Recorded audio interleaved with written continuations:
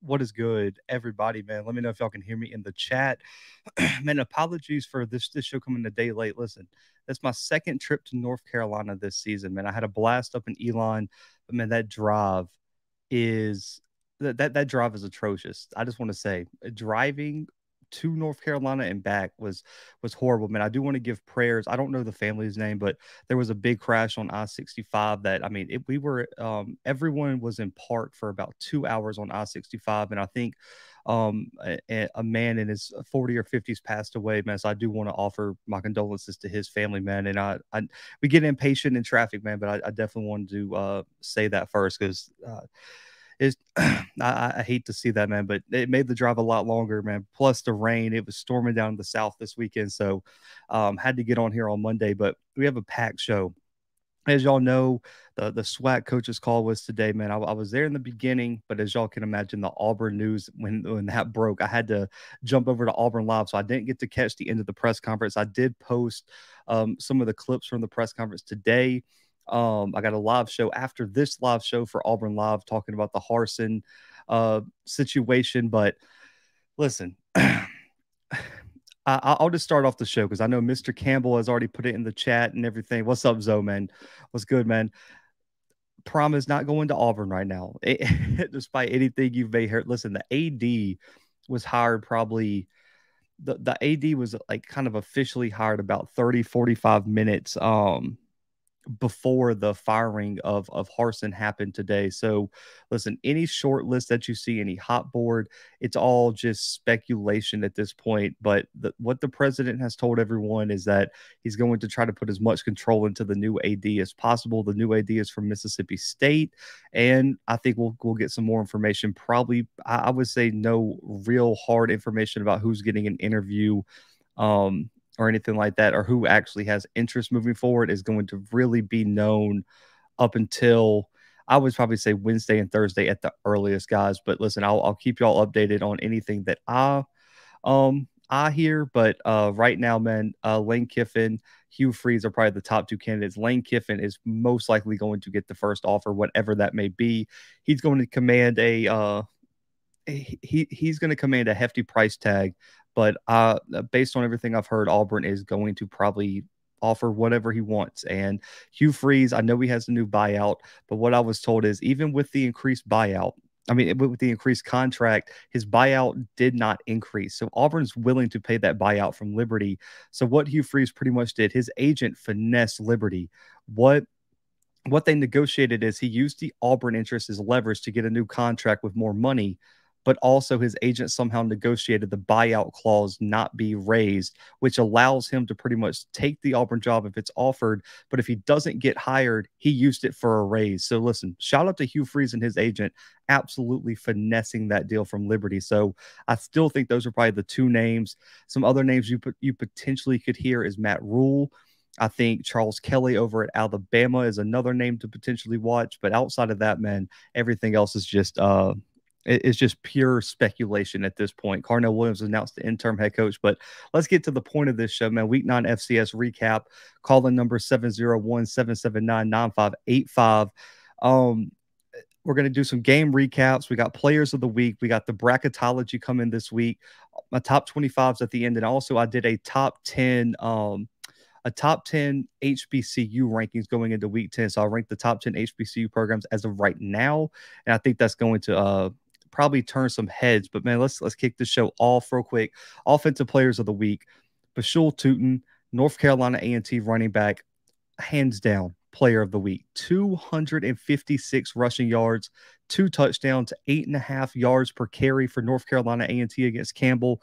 They made a furious comeback, and right now a win next week puts A&T probably in the playoffs, and it's it's a huge turnaround for Sam um, for Sam Washington, and uh, I, I'm I'm I'm just impressed, man. They're on a five game winning streak right now. They potentially they're going to get probably get to the playoffs. I got them winning this weekend, and I, am extremely impressed with how A has bounced back from that really bad start. Losses to Central, losses to North Dakota State, losses to I, I believe it was uh, Duke was the other team they lost to. But man, they've been reeling off wins. The offense has looked impressive. The front seven is there.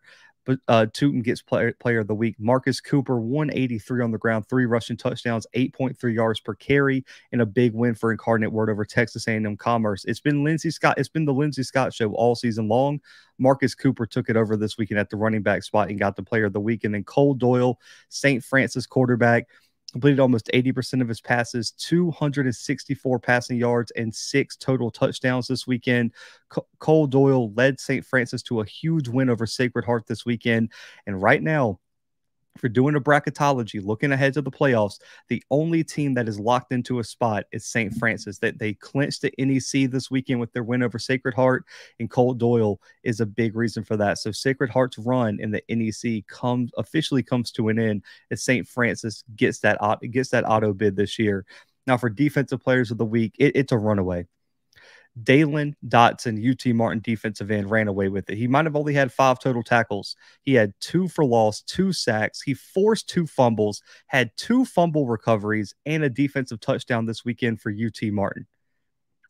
I, just I just want to repeat that. Two tackles for loss, two sacks, two forced fumbles, two fumble recoveries, and a defensive touchdown for Dalen Dotson for UT Martin this weekend it is it, it, was amazing to watch this kid go out there and make play after play after play. Dalen Dotson easily defensive player of the week. Armand Bailey and Dante Daniels are my two honorable mentions. Bailey had a big game for Sacramento State in a huge win over Idaho this weekend, while Dante Daniels leads Southeastern Louisiana to a big win and keeps their lead in it keeps their lead in the so um the Southland right now alive and well against um against Incarnate Word. They're going to have to win out if Southeastern Louisiana is going to make the playoffs. So those are my players of the week. Just just some notable scores. I'm not really going to break these games down. I mentioned the St. Francis win over Sacred Heart, 44 to 14 for St. Francis this weekend. They jumped out to a huge lead. The offense was unstoppable, and Sacred Heart really and truly is left with a lot of questions. They came in as the undisputed favorites, but that defense has just not been able to live up to the hype, and they have not been able to have any sort of offensive explosion this season. A huge game on the ground, too. Quayshawn Holmes, 168 yards rushing. St. Francis rushed for 304 and their quarterback threw five touchdowns. That that's all you have to know about this game. St. Francis clinches their spot in the playoffs with a big win over uh, over Sacred Heart. Now, the game I was at, Elon, Delaware, you can catch the highlights on our channel. I had a I had an amazing time. I love North. I love that area of North Carolina, man. It is beautiful up there in the mountains. But Elon, a dominant win over Delaware, twenty-seven to seven, a top fifteen upset. Elon came into this on a two-game losing streak. Somehow found a way to knock off Delaware. It is it, it, was impressive the way they dominated the line of scrimmage, the way they were able to force turnovers, and their ability to just be physical at the opponent's attack and run the football was something that I did not see with Elon these past few weeks. Nolan Henderson came in a little bit banged up, and I just I just don't due to the fact they don't have a strong run game. I just think Nolan, Nolan Henderson not being at 100% really limited to what they could do offensively. And when you look at Elon, uh, running the football is so important. Staying in those third and shorts, they went 12 for 17 on third downs and cons- and just consistently stayed third and threes, third and twos, and they would just hand it to the they would just hand it to the guy. Jalen Hampton is the player to note here. 136 on the ground, averaged over four yards per carry. Matthew McKay tossed three big touchdowns, and the defense can forced turnovers at the at the most opportune moments, man. So Elon gets a big win. I think this win probably keeps their playoff hopes alive. If Elon loses this game, no way Elon gets into the playoffs moving forward. They have two winnable games against UAlbany and Hampton. I expect Elon to probably slide into the back end of that playoff back into the playoff bracket after this win over Delaware. Now, uh, okay, we're to have to talk about this game. I'm still upset about this game. Tennessee State had everything in front of them. They were rolling. They've got healthy. They were they were winning. The offense looked explosive. The defense was coming along. They go up against 0 and 7 Murray State and get I mean, I just want to put this in perspective. They scored three points, and the quarterback from Murray State had less than 90 yards passing. That should that's that's all you need to know. That that's all you need to know. Uh Draylen Ellis sacked five times in this game, And Tennessee State, this was probably their worst rushing performance of the year. And I, I, I wonder, you know, Devin Starling, I left the game banged up. He only had three carries for five yards. Jalen Rouse did a solid job in, in, in backup duty, 84 yards, average six yards per carry. But the offensive line could not protect Draylen Ellis. They were they were giving up pressure all game long. And Draylen Ellis was running for his life. He had a solid game, 230. He had he did have a pick though, but when you're getting sacked five times against a team that all season has not been able to generate pressure, it, it, was disappointing to, to say the least. But man, Murray State ran the football really well 194, two touchdowns on the ground. JJ Holloman for Tennessee State's legit. But outside of that, that I don't have anything for you. Cade Shepard for Murray State had three sacks this weekend. Just absolutely unblockable. Uh, that pick was taken back almost 50 yards, set up Murray State in great in great field position in this one. It was just what was Tennessee State looking ahead? Was is, is Murray State better than I? Watching Murray State all year, I went back and watched some film because I, I, went back and watched this game and I was like, man, I have not seen this from Murray State all year. I don't even know if this is a case that Murray State was just better than 0 7. I just think it was Tennessee State playing a horrible football game. I, I just as soon as they were kind of uh, they were getting back on my good side in terms of in, in, terms of maybe competing against the SEMOs and the UT Martins in the coming week. Yeah, it, any given Saturday, man. That, that's all you. That's all you got to chalk it up to. They played horrible football this weekend against Murray State, and this was big for Murray State. I believe also five winless teams won this weekend too. So if you were winless going into this weekend you you you definitely you definitely are feeling better coming coming into this um weekend. I don't think this is worse than the lane loss. I mean, listen, losing to a D2 school is always worse than losing to a conference opponent, even if they were winless. Um, I, I still think the lane loss is worse, but they did have some injuries. This one was more inexcusable, though, in my opinion. Like you had to have this game. You win this game against a winless Murray State team. You set up a game next week with SEMO, and in two weeks against um, UT Martin. I mean, for the OVC pretty much. And so now you're going to have to win out and hope that uh, some things fall fall your way. I just, man, Tennessee State had it all ahead of them, and now that now you're looking at the season as, as kind of lost it. I mean that that win over that loss to Eastern Washington doesn't look great either. Now, I mean Eastern Washington has not been has really missed Eric Barriere, so I think Tennessee State has a lot of figuring out to do. They are going to have to play better at the line of scrimmage if they're going to beat SEMO next week. SEMO is going to run, try to run the ball straight down Tennessee State's throat. If they cannot protect the quarterback and can't establish drives, SEMO is going to give Tennessee State a lot of problems next week. So, so, so that, that that's a that's a major problem moving forward. But uh, quickly, Utah Tech gets their first ever win in the WAC over Stephen F. Austin, 47 to 44. Gabalis at quarterback, five passing touchdowns, almost 400 yards passing. And on top of that, Conley, go, Conley goes for 131 on the ground. This is a year that Stephen F. Austin has failed to live up to any hype, but I wanted to give a shout out to Utah Tech on the show. We don't really talk about them as much. You know, they haven't had a lot to to address, but this win was huge for Utah Tech's program moving forward. It was a, it was an impressive win, and they needed this one. It was their first ever win in conference as well. So this was this was a big one for Utah Tech. Now, just for some of the top FCS games before we get to our HBCU recap, Weber State Montana. Uh, I, this is the team I thought was going to win. They, they got to Chris Brown. I said when Lucas Johnson was was deemed out of this game, I just didn't trust Chris Brown to make the plays. He threw for 72 total yards, was sacked five times, and they couldn't run the football. Montana got shut down. Weber State it shows how good Montana State's rushing game is compared to what they did to Weber State last week. But Weber State held Montana to 42 yards rushing, 1.1 yards per carry. Dante McMillan goes for over 100. And we already know what Todd McPherson is three for 84 and a touchdown.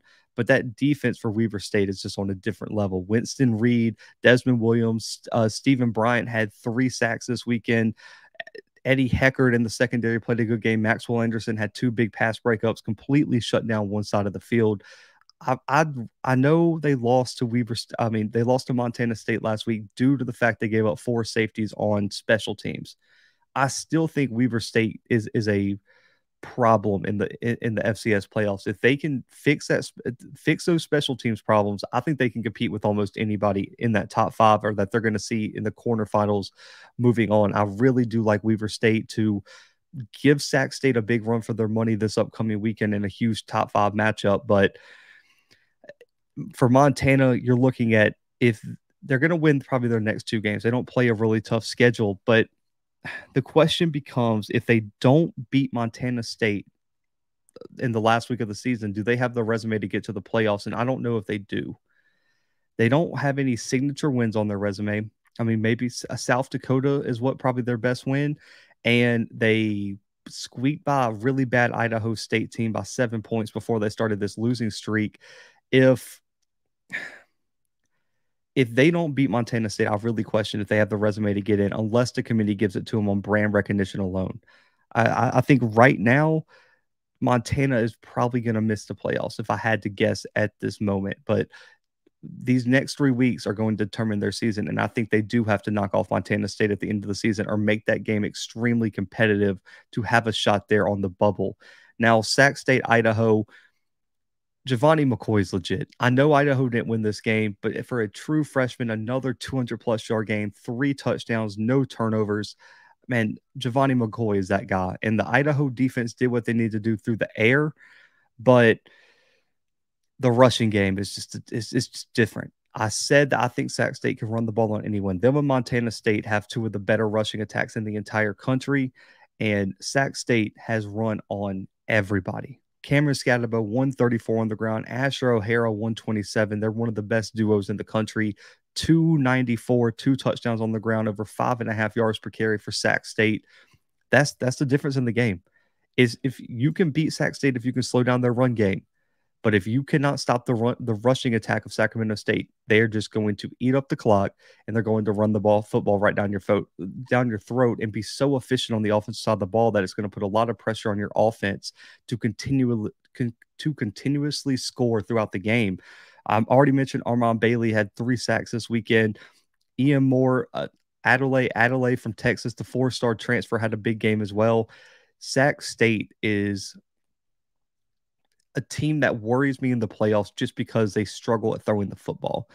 And are they going to meet a team in the playoffs when when they see a South Dakota State, when when when they see a team like that, are they going to be able to run the football for 290, 300 plus yards? And that's that's the question mark. Is the same question I kind of have about Montana State, not to this extreme, but I worry about Sac State's efficiency through the air. But defensively, running the football in the offensive line, they're elite. And and it's just going to be a question mark of how far that rushing attack can take them in the playoffs this year. But huge win for them. They were, I think they were a big favorite. I still think Idaho played really well. I didn't drop them very much in my top 25, but Sac State, another ranked win on their resume, man, and they are rolling into the playoffs. I think they've probably locked up a seed at this point already. They're going to be a top eight seed in the playoffs. Now, a big upset. Furman knocks off a top 10 team in Chattanooga. Now, Chattanooga did not have their all conference running back. I lean forward. He was he was ruled out right before the game due to an undisclosed injury, but Furman put it on Chattanooga this weekend on the ground. They they held Preston Hutchinson, forced two interceptions for him. Gino Appleberry played a good game in, in a replacement of Ford, but he just wasn't the guy. I mean, he had 56 yards rushing, only averaged about two and a half but Tyler Huff is the player of the game. He played a hell of a game. And some of the in that loss for Furman against Samford, Tyler Huff was banged up and missed that game. So they only have one FCS loss. Right now, Furman's loss are to Samford and Clemson. That's it. That's why Furman was the biggest riser in my poll this week. Tyler Huff goes for 200 through the air, a touchdown, and also rushed for 132 and another touchdown. Devin Abrams also did his thing on the ground for the Paladins. And in terms of wide receiver, in terms of receiving, Ryan Miller is a legit NFL tight end. There's a, such great tight ends in the FCS this year in terms of Ryan Miller, Tucker Kraft, um, even Kamari Everett and Bethune Cookman. There are multiple tight ends that I do think can play away um, you know, play their way onto a roster at the next level. The tight end spot, in my opinion, is one of the deepest positions in the FCS. There are a lot of guys who I think could be Sunday players at the tight end spot. But Furman, 24 20 win over Chattanooga, you have to think I said this earlier. I said this last week. If Chattanooga doesn't have their run game, can Preston Hutchinson win them the game? He played really well against Mercer last week, but also Ailym Ford went for over 100 yards on the ground, and they were able to be really balanced. Can they do it when Ford doesn't have his best game or Ford is out? Right now, there's a big question mark due to this loss. But Furman, Chattanooga, Samford, and Mercer are four teams from the SoCon that all have a path to the playoffs, and they all have to play each other moving forward. In two weeks, November 12th, that week, the same weekend, Jackson State plays Alabama A&M. Furman travels to Mercer, and Sanford, and Samford travels to Chattanooga, and then the week after, Samford uh, ultimately hosts Mercer in, in, that final week of the season. So there are some huge games coming up for the SoCon, and then quickly, William and Mary squeaks out a big one against Rhode Island, a huge goal line stand by the Tribe to pull this game out. Kasim Hill for Rhode Island had a big game. Marquis DeShields also 7.3 yards per carry for Rhode Island, but it came down to just the rushing attack of William and Mary. Once again, Bronson Yoder, Malachi Amoa, also Donovan Lester did his thing. Hollis Mathis, they had four guys that hit about the 50 yard mark, and Bronson Yoder and Malachi Amoa combined for over 200 plus yards, two touchdowns, and both of them averaged over seven yards per carry. Malachi averaged 10 yards per carry for, for the tribe this weekend. William and Mary's rushing attack is so they, in my opinion, they have a, a very by committee approach, and it works to it, it works week in and week out. And I don't understand how this staff continues to be so creative with their play calling. If if you haven't had a chance yet, I know a lot, and I said this, I believe, last episode. If you haven't had a chance, I know a lot of y'all did a film study on Campbell and watched the William and Mary game. G- just find you a William and Mary game this year to watch and look at how creative their offensive coordinator is in key situations, even though they're running the football. They had 45 rushing attempts this week. Just look at how they create those opportunities for their running backs and, and their skill players. They are able to put their put their players in the best situations in the most creative ways. And I think they have one of the best play callers in the FCS by far. And this is why I think they are really a sleeper in the FCS playoffs moving forward. I think William and Mary has a defensive line to cause a lot of havoc and they have a run game that's going to be really hard to stop. The question mark becomes can Darius Wilson at quarterback be a game changer if the run game is taking away if, if taken away? That's that's the biggest question mark for me. We know we know what the run game is with, the um with, with, with just the stable the backs they have. We know what the front seven is with Nate Lynn and John Pius but you it's just uh, the the quarterback is such a big question mark, and that's that's some. I'm going to talk about it more in my bracketology. There are um, there are some teams in the playoffs that are ranked high that I don't know if they had that it factor at quarterback to win, and and that's and that's the question mark for me. But let's get to some of the HBCU games, and we get to our games of the week. I appreciate you becoming a member. Definitely appreciate that.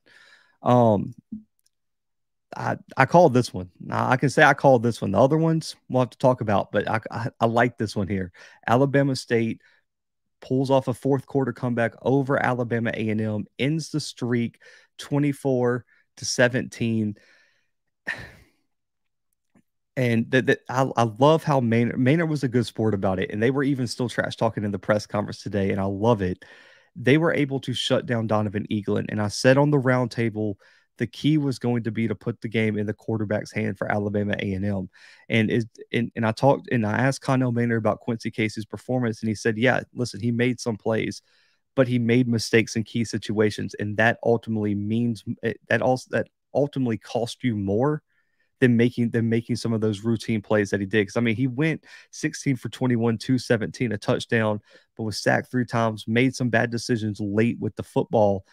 And that ultimately became the difference in the game. Now, for Alabama State, got to say this Colton Adams is going to be a first team all SWAC selection at linebacker.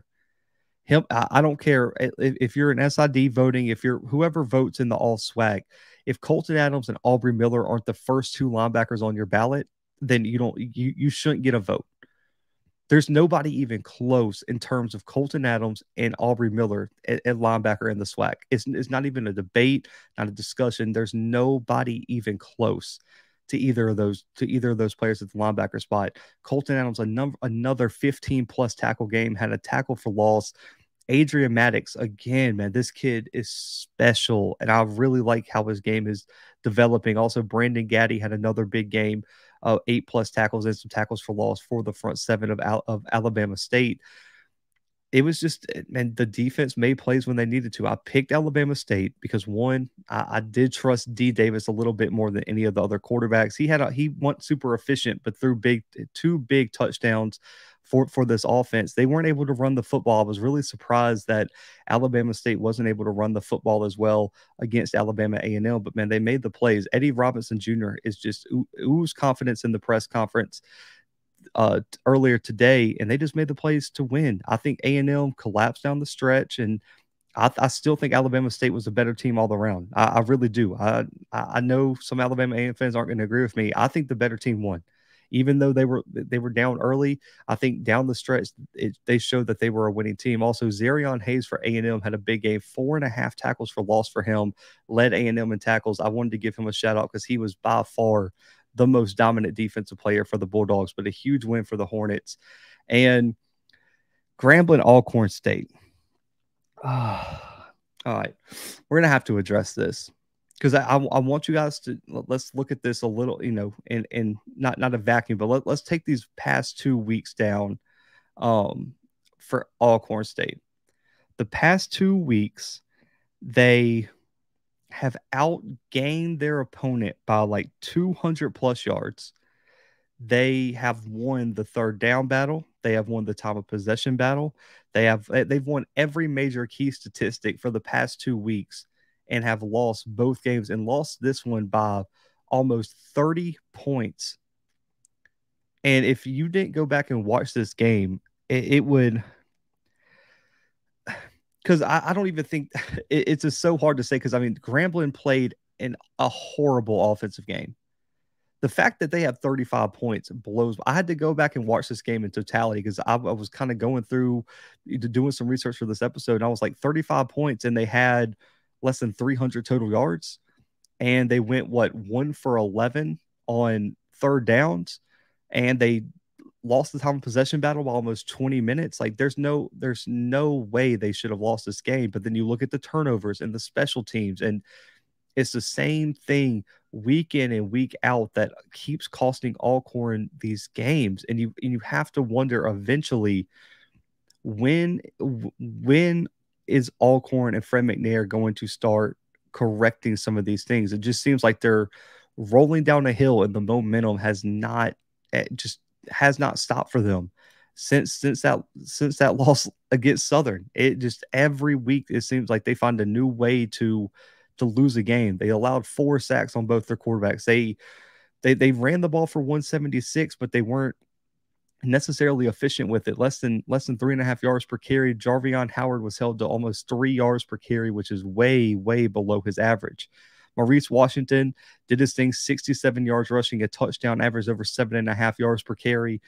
But I, I've really Alcorn's also got to find some depth at wide receiver. I will say that Juan Anthony had a big game, six receptions, 83 yards. But since Bowler's been out, they they, they don't have that guy outside of Juan Anthony who can go make a play. Bowler is their big playmaker, but with him being out, no one has really stepped up to fill that secondary role yet and and that's the biggest that's the biggest question for Alcorn State. And it's just week after week they find a way they find a way to shoot themselves in the foot. Lewis Matthews though has played excellent for Grambling all season long. Had another big game, 13 total tackles, two for loss. Joshua Reed, uh, Sundiata Anderson finally had a breakout game. Two and a half sacks, three and a half tackles for loss.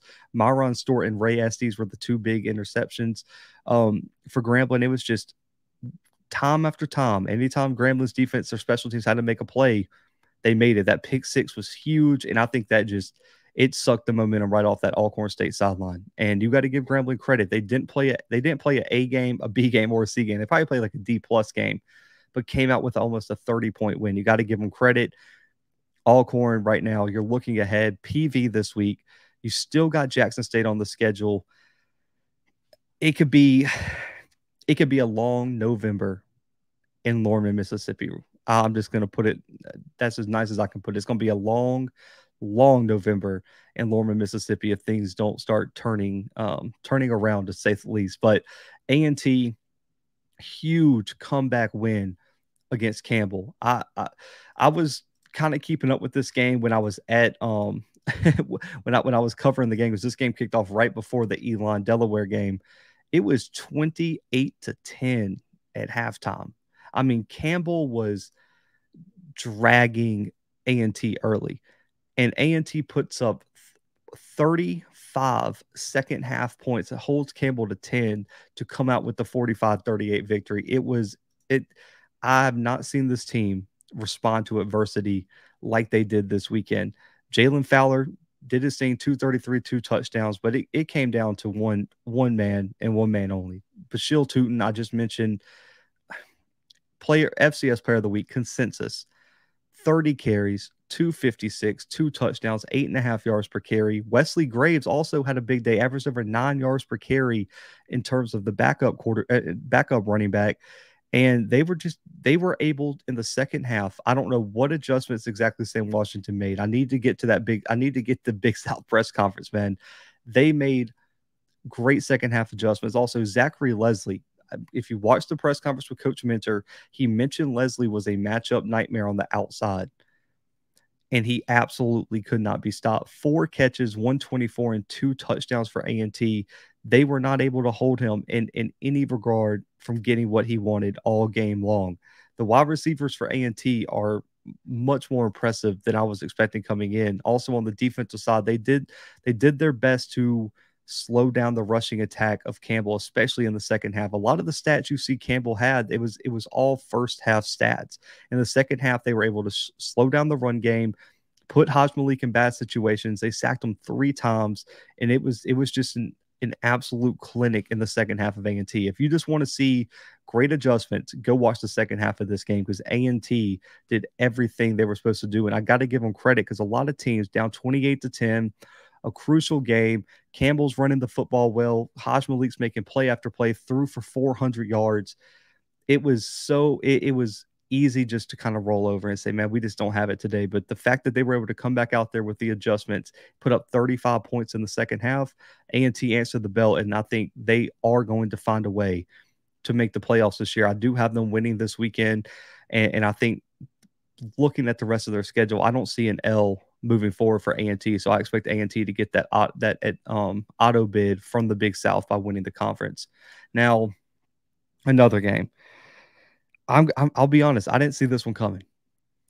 If you would have told me South Carolina State would get back on track, upset North Carolina Central last week, and then come out and lose by almost 30 points to Morgan State, I, I don't know how much I would have bet you, but I know it was more than I was probably willing to lose looking back right now. Because I, I I would have never saw this coming, especially the point total. I was following on my phone at, at the Elon game, and I was like, man, that's got to be a typo. It has to be flipped. And it goes back to what I said last week, man. Corey Fields, Corey, like he looks, he he looks amazing against North Carolina Central, and then comes out against Morgan, twelve for thirty-one, throws two picks, and then they rotate a few quarterbacks, and they have one quarterback, uh, Franklin, one for five with a pick and was sacked twice. South Carolina State has to play better, especially in terms of their offensive line. Their offensive line was getting handled, absolutely handled this game. Morgan State's defensive line big boy them all game long. South Carolina, uh, stop me if y'all have heard me say this on the show. South Carolina State could not run the football. They've rushed for less than 100 yards, only three yards per carry. And if it wasn't for Alex James, who had one explosive play, Kendrell Flowers, 30, 31 yards rushing, 2.2 yards per carry. And that was it. They could not run the football. They got beat at the line of scrimmage at the point of attack for 60 straight minutes. And every and when you look at Morgan State, Alfonso Graham is going to be a first team all um all MEAC selection. 123, two touchdowns, average over six yards per carry. Alfonso Graham was the difference maker. When you look at the games that they've lost, Alfonso Graham was taken out of the game early. And the fact that South Carolina State, against a one dimensional Morgan State team, because they cannot throw the ball, got absolutely drugged from us 200 yards rushing. is an indictment on, on the team. Shaq Davis, three for 66. That's great. They don't have any other weapons on the outside. If you guard Shaq Davis, South Carolina State is, is, just dead in the water. Morgan completed seven passes, guys, and scored 41 points. I repeat, they scored 41 points, and their quarterback went seven for 25 for 138 and two picks. That that's that that's just insane. Uh, that inexcus- inexcusable to say the least. Uh, the, that doesn't it, it doesn't even seem right. They got held to they got held to 250 yards of total offense against Morgan, man. And you got to you got to give Damon Wilson his credit. He that team. When I watched that Central game, when I watched it on Thursday night, ESPNU in front of the whole, in front in front of the whole world out there on ESPN uh, ESPNU, I did not see this in in this defense. Davius Richard went just crazy against him, and I was like, man, maybe that defense wasn't all it was chalked up to be, but man, they that, that that's what I'm saying, Sonic Boom. How did how did Central not figure out the same weaknesses that that that Morgan did? And it just it goes to show you how much one a coach like Damon Wilson means to this program. Um, I, I just want to say this: it, if he gets a recruiting class or two into Morgan, I love the future of where Morgan State's going with this program the fact that they were able to beat Sacred Heart this year, the fact that they were able to knock off South Carolina State like they did, the fact that if they keep winning, they got a chance to win the MEAC still. I mean, everything's still in front of them. In year one of Damon Wilson, they have quarterback trouble. Their only offensive weapon is Alfonso Graham. The defense is playing lights out in big moments. Man, Morgan State is way, way, way ahead of schedule. And so you, you got to give David Wilson his props, man. Uh, you really do. They were able to force a bunch of turnovers. They were able to make key. That they were able to be in the red zone and put points on the boards, and, and that's that's what it came down to. They held one for three for South Carolina State in the red zone. It it, it was impressive, man. I, I think this, and I put it I put it on um, our Twitter. This was one of the biggest wins of the weekend, in my opinion. This was a huge win for Morgan, even if they don't win the MEAC. This was just one of those and, and I'm sure anyone who's watched a lot of football can can you know find some examples of this that's happened. When new coaches step in and especially successful ones there's always that moment in year one year two where people say that was the win that changed the culture around the program. That was the win that started all of this. And this is one of those program defining and tenure defining wins for damon wilson and morgan state. So man, huge, huge performance for, for the Bears this weekend. And, and I think this was the, this was one of the more surprising wins of the weekend. Now, before we our two games of the week, Holy Cross Fordham, Jackson State Southern. We'll talk about Holy Cross Fordham first. I know I tell y'all to go look up a lot of stuff, but if you did not watch this game live, please do me a favor. As soon as I hit end broadcast, go find some highlights, go find the rerun, go to ESPN Plus and find um and, and somehow find this game somewhere to watch. This was the game of the year in FCS and I think even possibly FBS. This was the game of the year. I'm telling you, 53 52. And if you don't know what happened, Overtime, Fordham goes down and scores 50, 52 45. Holy Cross scores. They've run a, a they've run a Holy Cross special. Run the reverse. The quarterback's open. The defensive end crashes. Instead of just throwing to the quarterback who was wide open, they ran it in. And, and, and that was how they won the game on a reverse, on a reverse Holy Cross special or, or Philly special, um, whatever you want to call it. It was insane. Tim DeMorat had a crazy game again. Five touchdowns for Tim DeMorat at Fordham. No picks again.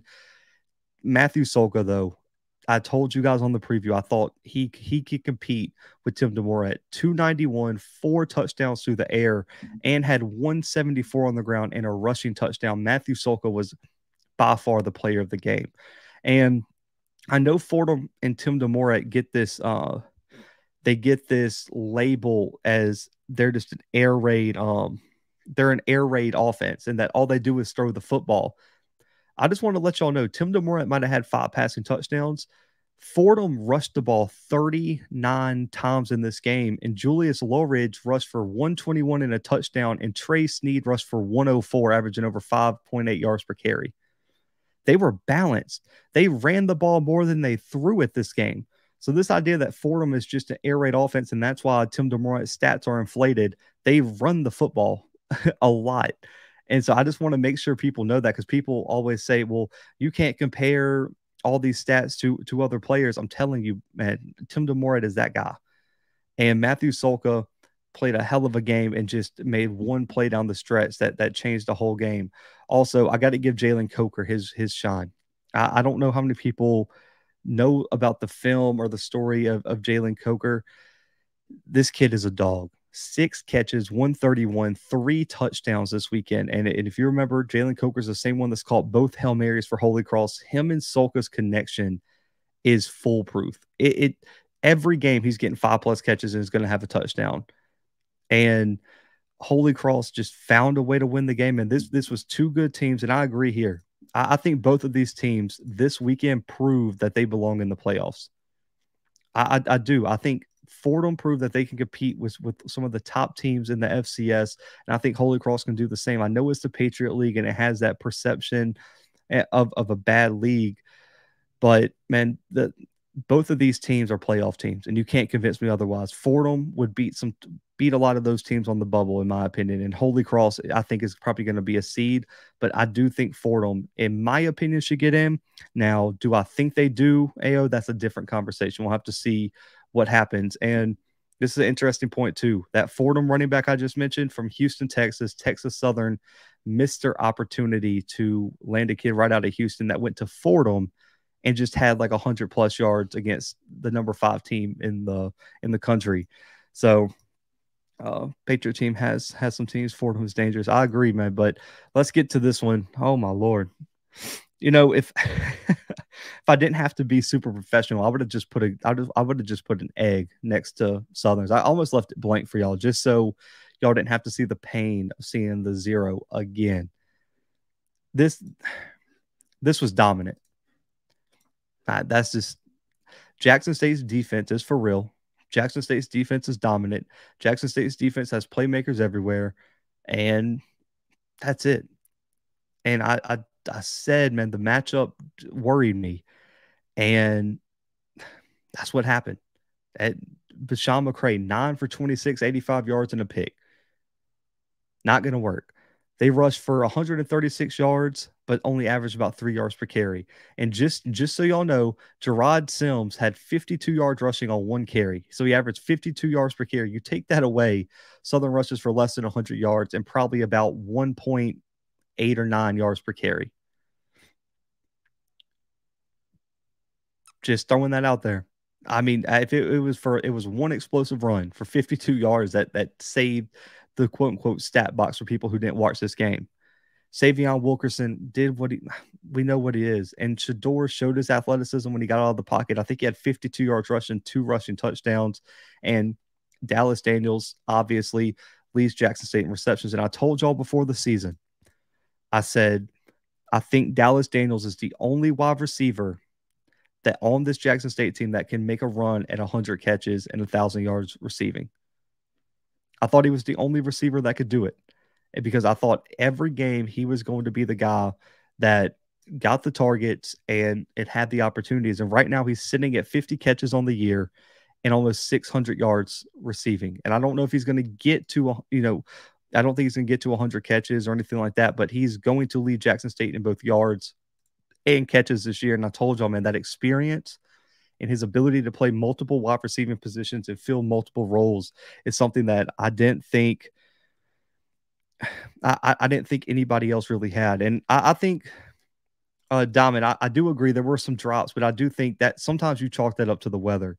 I, I wasn't there, but there were some people there that said it, it was ugly all day. And I know y'all had the rain delay down there in Jackson. I do think some of those you can just kind of like in, in a in a weather game like that, you're gonna have drops. I don't think I would I wouldn't hold that I wouldn't hold that against him necessarily. Um, But I just I just think it it comes down to one thing. And I think Southern did some things well. Jalen Campbell had a huge game for them. I think he had four and a half tackles for loss, 10 tackles and a sack. Um it was it, it, was an impressive performance for him. I thought, you know, Trey Lang had a few tackles for loss. I thought Derek Williams and Jordan Carter played really well for them, but the offense was just atrocious. You could say what you want, and you could say the what ifs, and you could say, well, you know, if this play went differently, if they blocked this guy, or or etc. The, the fact of the matter is, you got held to less than 225 total yards on offense. As an offense, you average less than three and a half yards per per play and you had you you couldn't establish any consistency on the offensive side of the football. I, I mean, three of eighteen on third downs, two of four on two of four on fourth downs, and you didn't even hit. You didn't even get to the red zone. That should tell you all you need to know. Like I get it. If you went to the red zone, you turned it over. You know, you could say, "What if? What if this? What if that?" You you didn't even get to the red zone. I, I can't. That's that's all you need to know about how this game is. I, I think the offense for Jackson State, they they didn't um they I don't think this was Jackson State's best offensive game. I'll just say that. I don't think Jackson State fans in here think that either.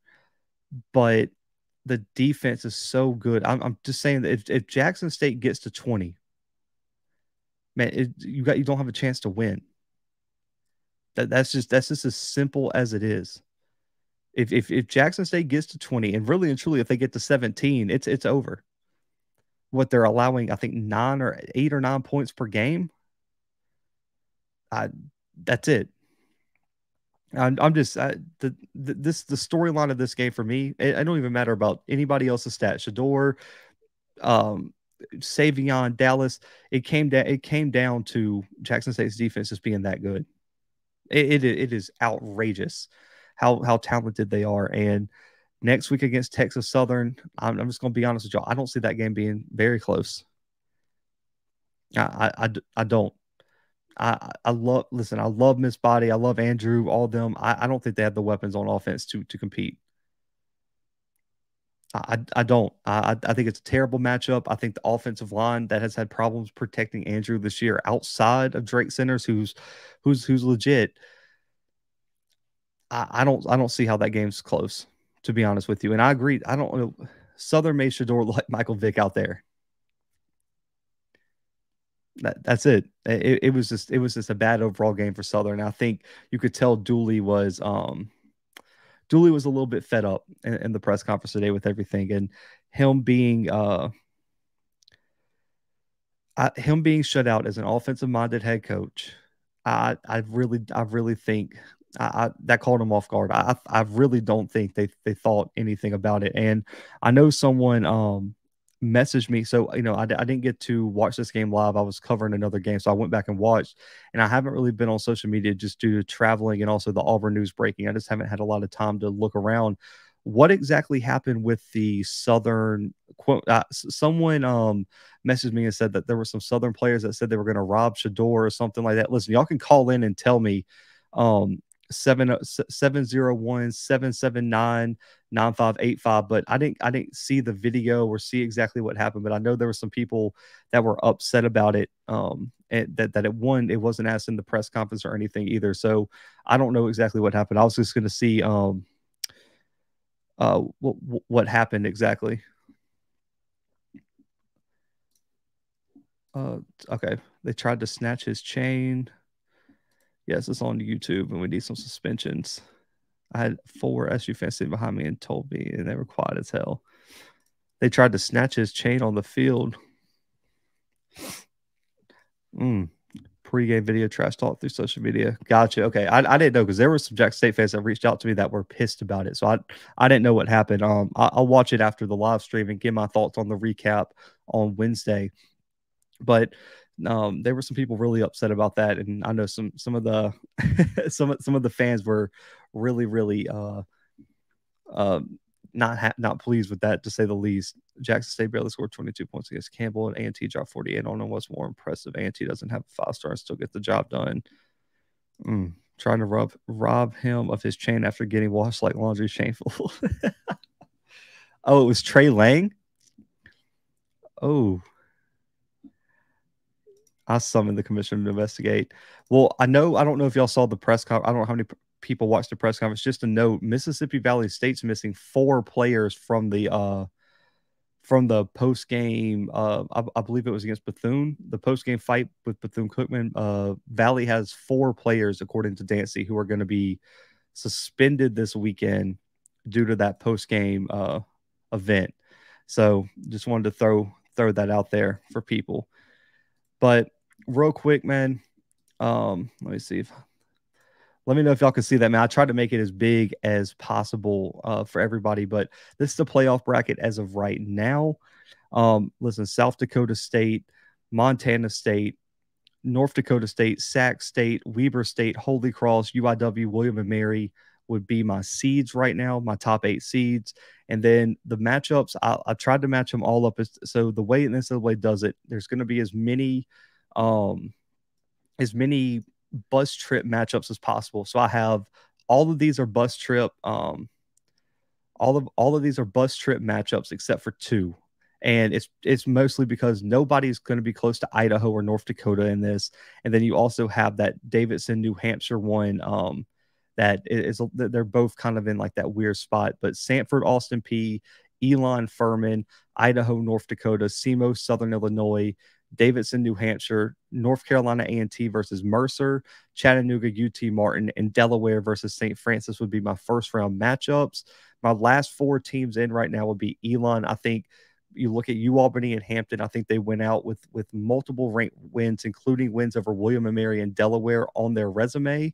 I do think Elon finds a way to get in. Furman, I do think they get in, especially based on the fact they just beat Chattanooga, and I do think they can pro- they can probably split some of those last few SoCon games on their schedule. And I think Furman can get in, especially with um with the way that they've been playing down the stretch, man, that team is rolling. SEMO would be one of my last two, and then North Dakota just because they have one of the toughest schedules in the country, and their and their only game that they should lose moving forward is possibly to North Dakota State in the last week of the season. If they can just keep that competitive, I do think they get that last spot first four out. I got Montana being the first four out. I don't see them beating Montana State this year. I don't think they have any quality wins. I think it's going to come down to them in North Dakota. And the fact that North Dakota is going to have two ranked wins on, on their resume, I give the edge to North Dakota over Montana at this point. Now, if Montana somehow finds a way to beat Montana State, this could be a different conversation. And Fordham, I wish they were in. I think they should be, but I just don't think the committee is going to give them that benefit of the doubt, and they're going to be one of the first four out. Richmond, I have them. They potentially could lose their last three games. New Hampshire, Delaware, William and Mary. I think all three of those could potentially be losses. I just don't see Richmond finishing the year very strong. So I would, I, I think Richmond's going to fall to the first four out, and then FAMU would be my fourth team out. They're probably going to be sitting at nine and two. Potentially, you know, they lose to Southern. They're not even in the first four out. But the problem with FAMU is they don't have any real quality wins on the resume, especially after South Carolina State just got drugged by Morgan State.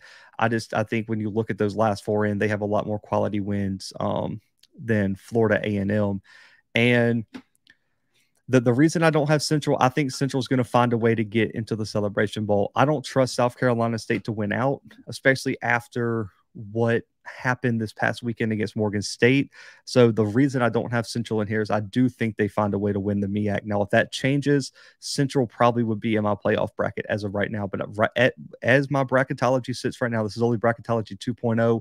I have Central winning the MEAC, and that's why they're not they're not in there. And um, I think in terms of first round matchups, man, that A and T Mercer matchup would be insane. That's that's one of my favorite matchups. I also love the Samford versus Austin Peay matchup, and another another one that's kind of a a rivalry type game almost because I mean I think they're only like 30 or 40 miles apart is SEMO versus Southern Illinois. Man, those schools are right around the corner from each other. I think that game would be a giant game in that in in that in that Missouri Illinois area over there. But um, man, this would be my bracket as of right now. I know a lot of people were asking for it, but this is how I see the playoffs shaping up as of today. I'm going to do an updated one each week moving forward.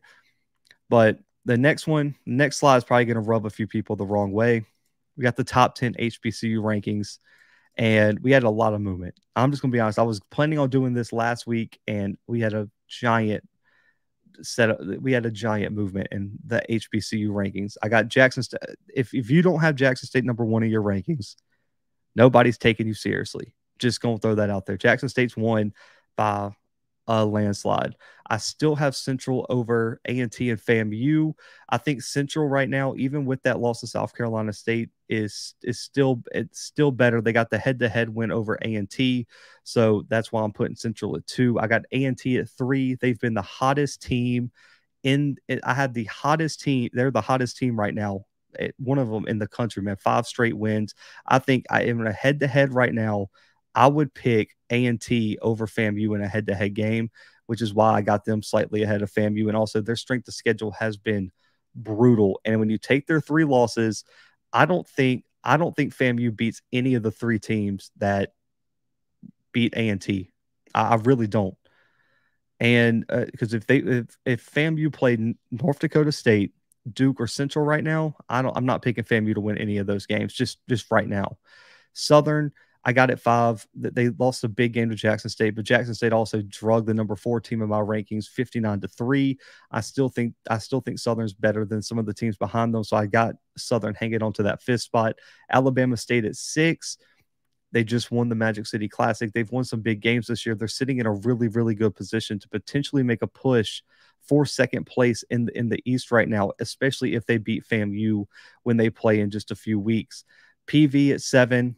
I, I think they've done enough to, to keep that ranking. They dropped a spot, but I, I even though it was a close one against Bethune Cookman, it was a close one. I still think they're better than than Texas, and they beat Texas Southern, and then Howard at eight. Right now, number one in the MEAC, but I need to see Howard compete against some of the top teams in the MEAC before I move them any higher. So I got Howard at eight, Texas Southern at nine. They this week they really didn't do anything to move and then South Carolina State at 10. They were almost out of my rankings. I'm going to be honest with you. After watching what they did to Morgan State, what happened to Morgan State, I, I, I think South Carolina State could have dropped out. But the problem is they do have that win over Central to pad their resume. Hampton's fallen apart in the CAA, so you can't go them. Morgan State has two MEAC losses already, so you can't put Morgan State over South Carolina State just in terms of pure resume. Tennessee State would have been there, but losing to an 0 7 Murray State team, you can't be in the top 10. I'm sorry. And then what everyone else is just kind of thrown around to say the least. I I don't know how y'all feel about um I don't know. Okay, you can okay, I get it you could see FAM at two. NCCU, they, they their two losses are the teams A and T beat. Here's here's the question though, Isaiah. They beat A and T by double digits.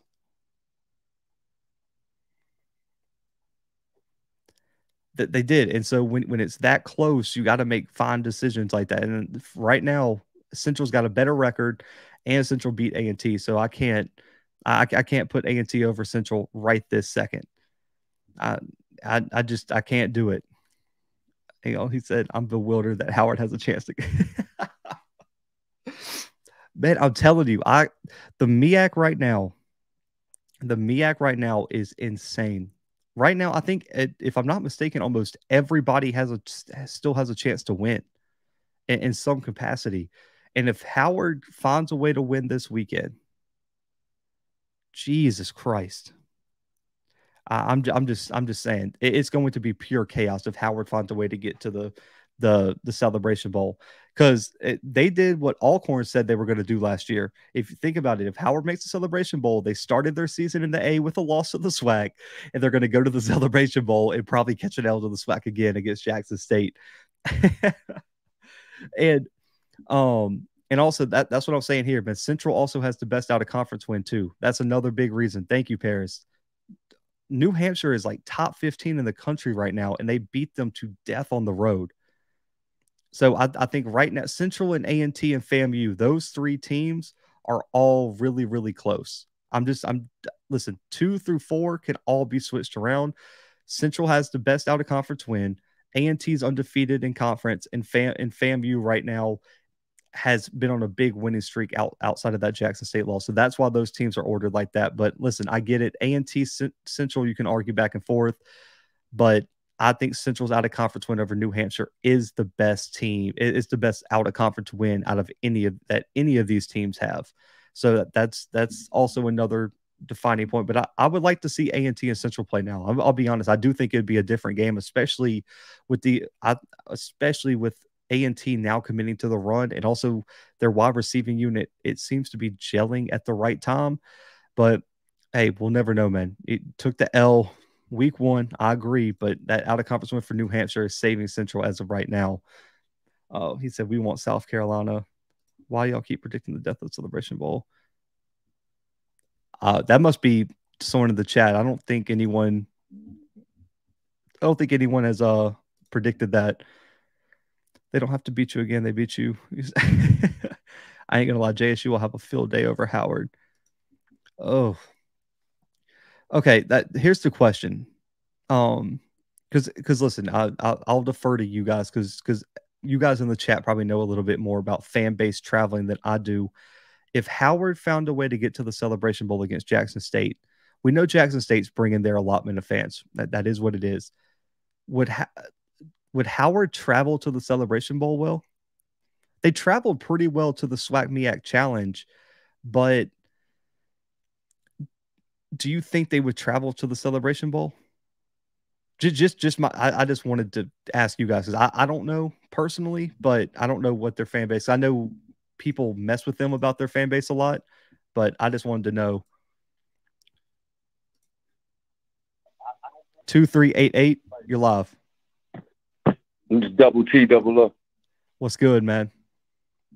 Hey, Blue. Um, well, Howard traveling to the Celebration Bowl to fans, they may not, because Howard is not playing good football. Like most MEAC fans, especially, they not going to. They only travel if, if their teams are playing good football. If Howard was playing good football, or the fans think they playing good football, they'll be down there. Like they're like Howard fans will be there. Like Howard, all the other MEAC schools. Like whenever their team's playing good football, like they pack, like they following their teams. As far as the Celebration Bowl, it's it's gonna be it's gonna be dead in two years.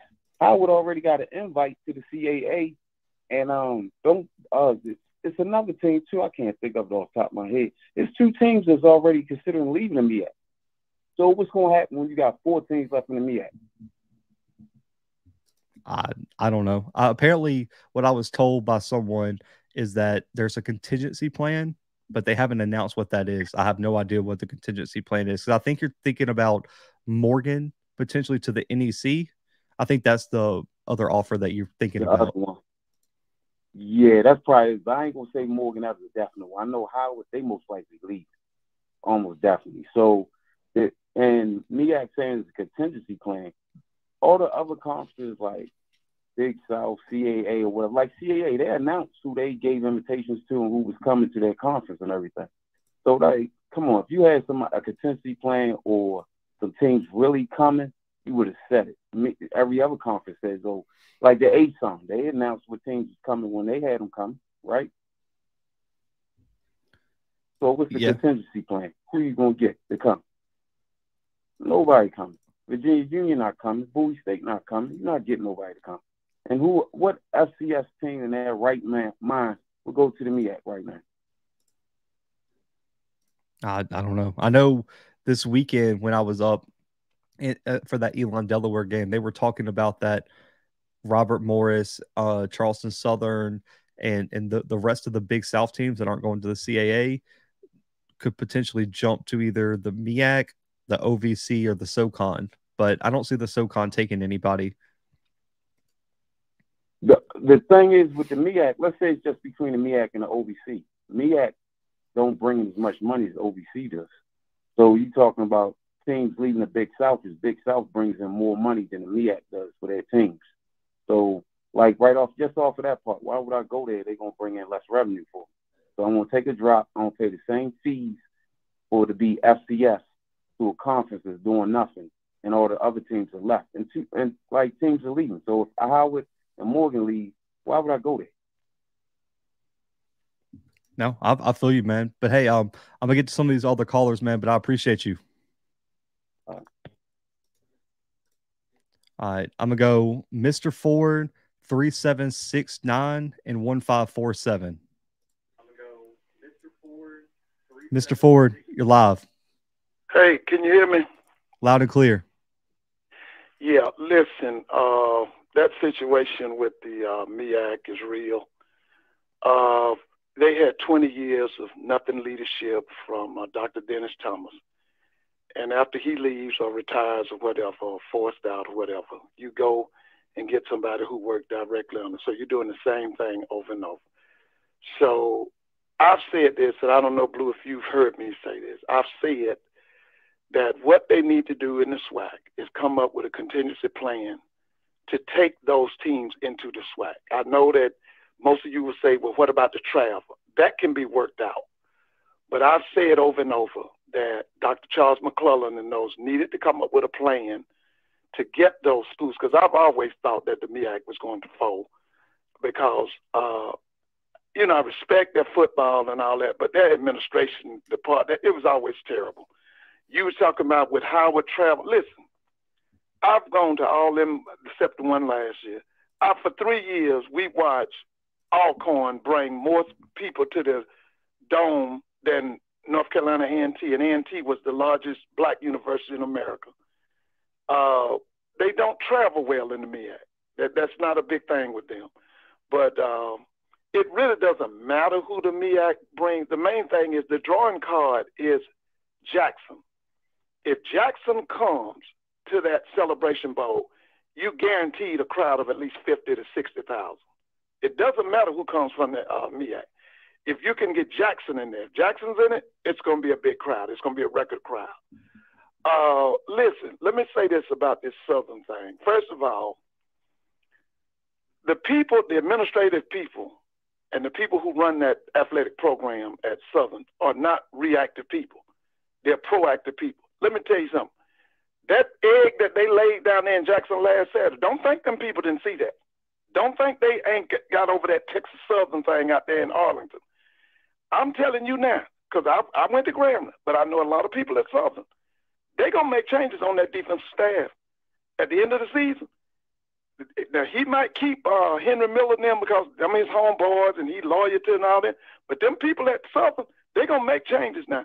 Because now, let me, like I told uh, CFL last night, they better be fam this weekend and they better not lose the Grambling uh, in that Bayou Classic. Because if they lose the Grambling, baby, it's going to be major changes. Now, now, if they can win out here, it'll be a future. And the other thing I'm going to tell you, Blue, from what I saw Saturday, you know what? I think Prairie View might come back and win the, the SWAC West. I'm going to be honest with you. I think Prairie View might come back and win that thing. And uh, y'all, you know, I, I was telling some people last night, you can't tell me that that kid at Southern that what's his name? You call him what? BeSean, what you call him? What's his name? BeSean McCray. You can't tell me that's the best kid. That's the best quarterback in Southern. Ain't nobody can tell me that.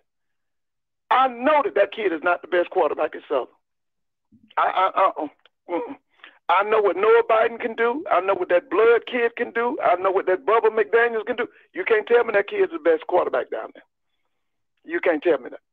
Nobody can tell me that that kid is the best quarterback. The other thing is this: that Gerard, the, the kid, was it Gerard Sims? What's that running back name? You said took off on the 52 yard. Yeah, uh, Gerard Sims. Okay, now on that play you're talking about, Nugget hit him in the knee. He didn't see Nugget coming, and Nugget took his knees out. He didn't come back. You you got an injury report on him?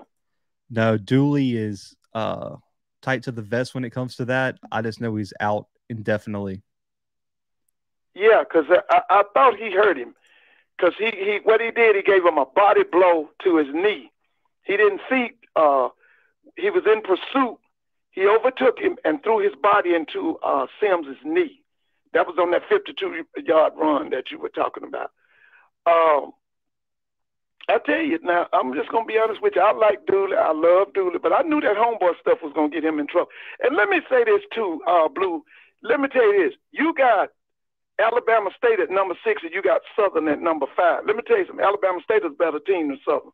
Now, the only problem with Alabama State right now, like I told them people last night, Alabama State is an offensive coordinator, uh, quarterback coach, and a play caller from being a legitimate uh, threat to win the SWAC. That guy, it. Listen, let me tell you what I see. I, I watched that uh, Magic City class. That play, play calling they doing, that's throwing something up against the wall and hoping it sticks. But see, what, what's going on at Alabama State, them boys play off of that Davis kid. They play off of him. But see, they don't have a system. That's the difference between he and Shedeur. Shedeur has a system. He has a play caller. He doesn't have a system at Alabama State. They they just they just doing stuff. My listen, if I could talk to Eddie Robinson, I would tell him go back and get that Davis Kids playbook from when he was out there in Texas in high school and go with that.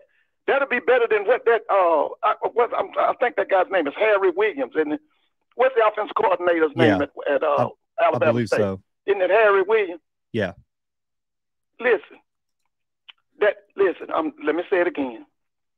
Alabama State is a offensive coordinator, quarterback coach, play caller away from being a legitimate threat to win the SWAC. Now, I, I, I don't know if y'all noticed it, and I said it to some people uh, some weeks ago. Alabama State was going blow to blow with Jackson State. You know when they failed? When they realized that Davis kid wasn't coming back because they had no confidence. That team didn't have no confidence in that Miles, what's his name, Collie, or what's his name, the kid from Atlanta. He went to Tucker High School. What's his yeah, name? Miles Crawley. They didn't have no confidence in him. They play off of that Davis kid. I just hope and I pray that Coach Eddie Robinson don't you don't misuse this kid. You got a four or a five star quarterback. Please put around him the things that he needs. And let me say this about Shedeur. Them runs that Shedeur made in the second quarter of that game, all of that stuff can be attributed to that strength and conditioning coach that they got from Georgia. That's why he, he's able to do that now because they worked hard in the off season, especially in the summer. You remember uh, I told you I told y'all if you were listening, I said the people who take advantage of June and July, whether it's on the field or off the field, it was going to show up. That's why Shedeur took off like that because they worked him, they had him on that iron, and they had him uh, running them stands, and everything about him has changed. And let me tell you something, he's going to get better. But I'm saying the same thing can happen for that kid up there at Auburn. Now, let me say this here. Uh, you were saying that Auburn don't want uh, Deion Sanders, and I'm gonna tell you something. Georgia Tech don't want him either, because uh, Georgia Tech is bringing in a, well, they got an AD who was uh, uh, an administrator over at um, Alabama. He's a graduate of North Carolina. Listen, he ain't coming here either. So uh, I'm like you, like you said about he ain't coming to Auburn. They ain't, they ain't bringing him to Georgia Tech either. You, Blue, you got any question for me? No, that's it, Mr. Ford. Appreciate you calling in. Okay, have a good night. You too.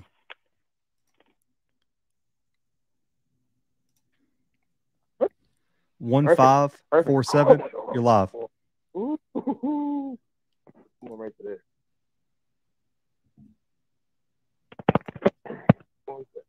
Uh, shoot. Ooh. Can you hear me? Yeah, you live, man. Okay.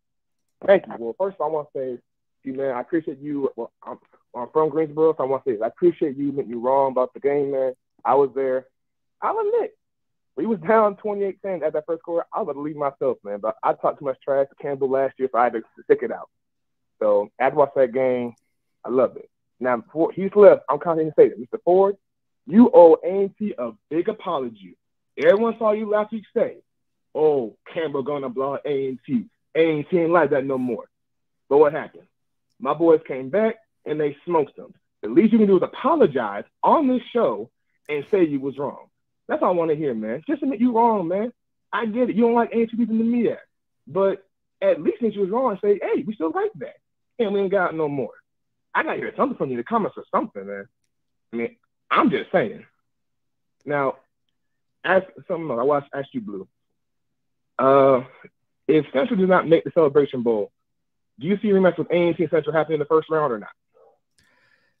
Okay, there's two ways to look at this. One, yes, because the matchup would be epic. I mean, we'll just put it like that. No, because pairing up two HBCUs in the first round prevent both teams from making a run, if that makes sense. I would rather mm-hmm. A and T go face, you know, a Mercer and Central go face a Furman or something like that. And I would like to see both of those teams win and move forward. So as much right. as the matchup would be fun to see, if two HBCUs make the playoffs, I don't want them mm-hmm. to play in the first round. Okay, that makes sense. Oh, one more thing. Uh, nothing was with the forward. Again, I, understand he, he, he, he's going to say, but uh, one thing he said about Celebration Bowl was not true. A&T sold out tickets every single time he was there, and Alcorn didn't. I don't know where he got his, his number saying they had more fans than we did. That that that cap. That's not true. A&T sold out tickets. I think they started going when I was when I was undergrad there, around 15, 16. The first two weeks it was announced, every time that happened, we were sold out. I couldn't get a ticket at all until after I graduated for A&T. So again, Mr. Ford, I need an apology from that. Uh, second question. Uh, I know it's, it's, very unlikely. I know it's very hard for A&T to win any kind of in the playoffs. If somehow A&T was able to have a rematch with North Dakota State, I think based on your bracket, that would be the semifinals, correct? Uh, hey, let me pull it back up. Um, yeah, I thought. Yeah, it, be it'd be the semifinals. Yeah, so if that was semifinals, do you think that would, I guess, have some sort of media buzz since since how bad the game was this earlier this year? Yes, because I think people would be surprised that after the beating y'all took in week two, that y'all made it to the semifinals. Because if you look at the bracket, if if A and T made that run, they would have to beat Mercer, Incarnate Word, mm-hmm and then probably Montana State all on the road, most likely. That would be an insane run. So, yes, the media attention would be there. Going to the Fargo Dome and winning again, uh, probably mm-hmm. not going to happen. Not, it, I'm not saying we win, but I like say that I know it's like I say kind of like so we got some really good teams ahead of us if we do make playoffs. But uh, like I said, I would love to see it. Again, love your work, Blue. Love it, man. Like I'd come in and like I'm sorry, I, after Eric Mr. Ford said last week, I had to come in and make sure that I had to hold him accountable because you can't talk all that trash and be a hater against A&T and then not apologize and not acknowledge that you was wrong. Like, I, am sorry. I, I get the hate. I get it if you was right, but you was wrong. I want to at least, I want to at least admit that, and you did. So I do appreciate that, man. Hey, appreciate you calling in, man. Of course, thank you.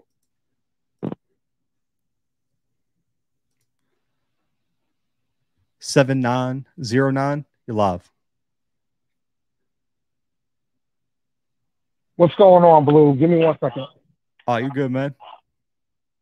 I'm gonna cut this audio off real quick. Give me one second. All right, so I'm piggybacking about A and T. You should have came to G-Ho, my man. You should have came to G-Ho. Man, I don't even know about that. Holy Cross, like the fans wanted me to come to that Holy Cross game so bad, and I was like, man, it's so expensive to fly from Mobile to Worcester, uh, Massachusetts and now watching how that game turned out, I am so upset that I wasn't there. It that was the game of the year and I missed it.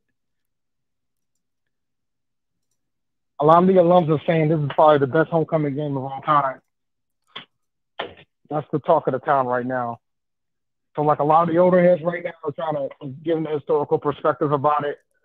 Because typically during homecoming games, you typically play a cupcake team, and the past couple years we haven't really done that. So, and considering the comeback and the and the day that Tuten had, they're saying it's probably the best one of all time. I knew we were going to be able to run the ball against Campbell. Even in the first half, when we were now 28-10, we were running the ball on them. But you know, that was a hell of a comeback by A&T. I mean, so. I think Tuten has wrapped up the Big South Offensive Player of the Year race. I think it's his.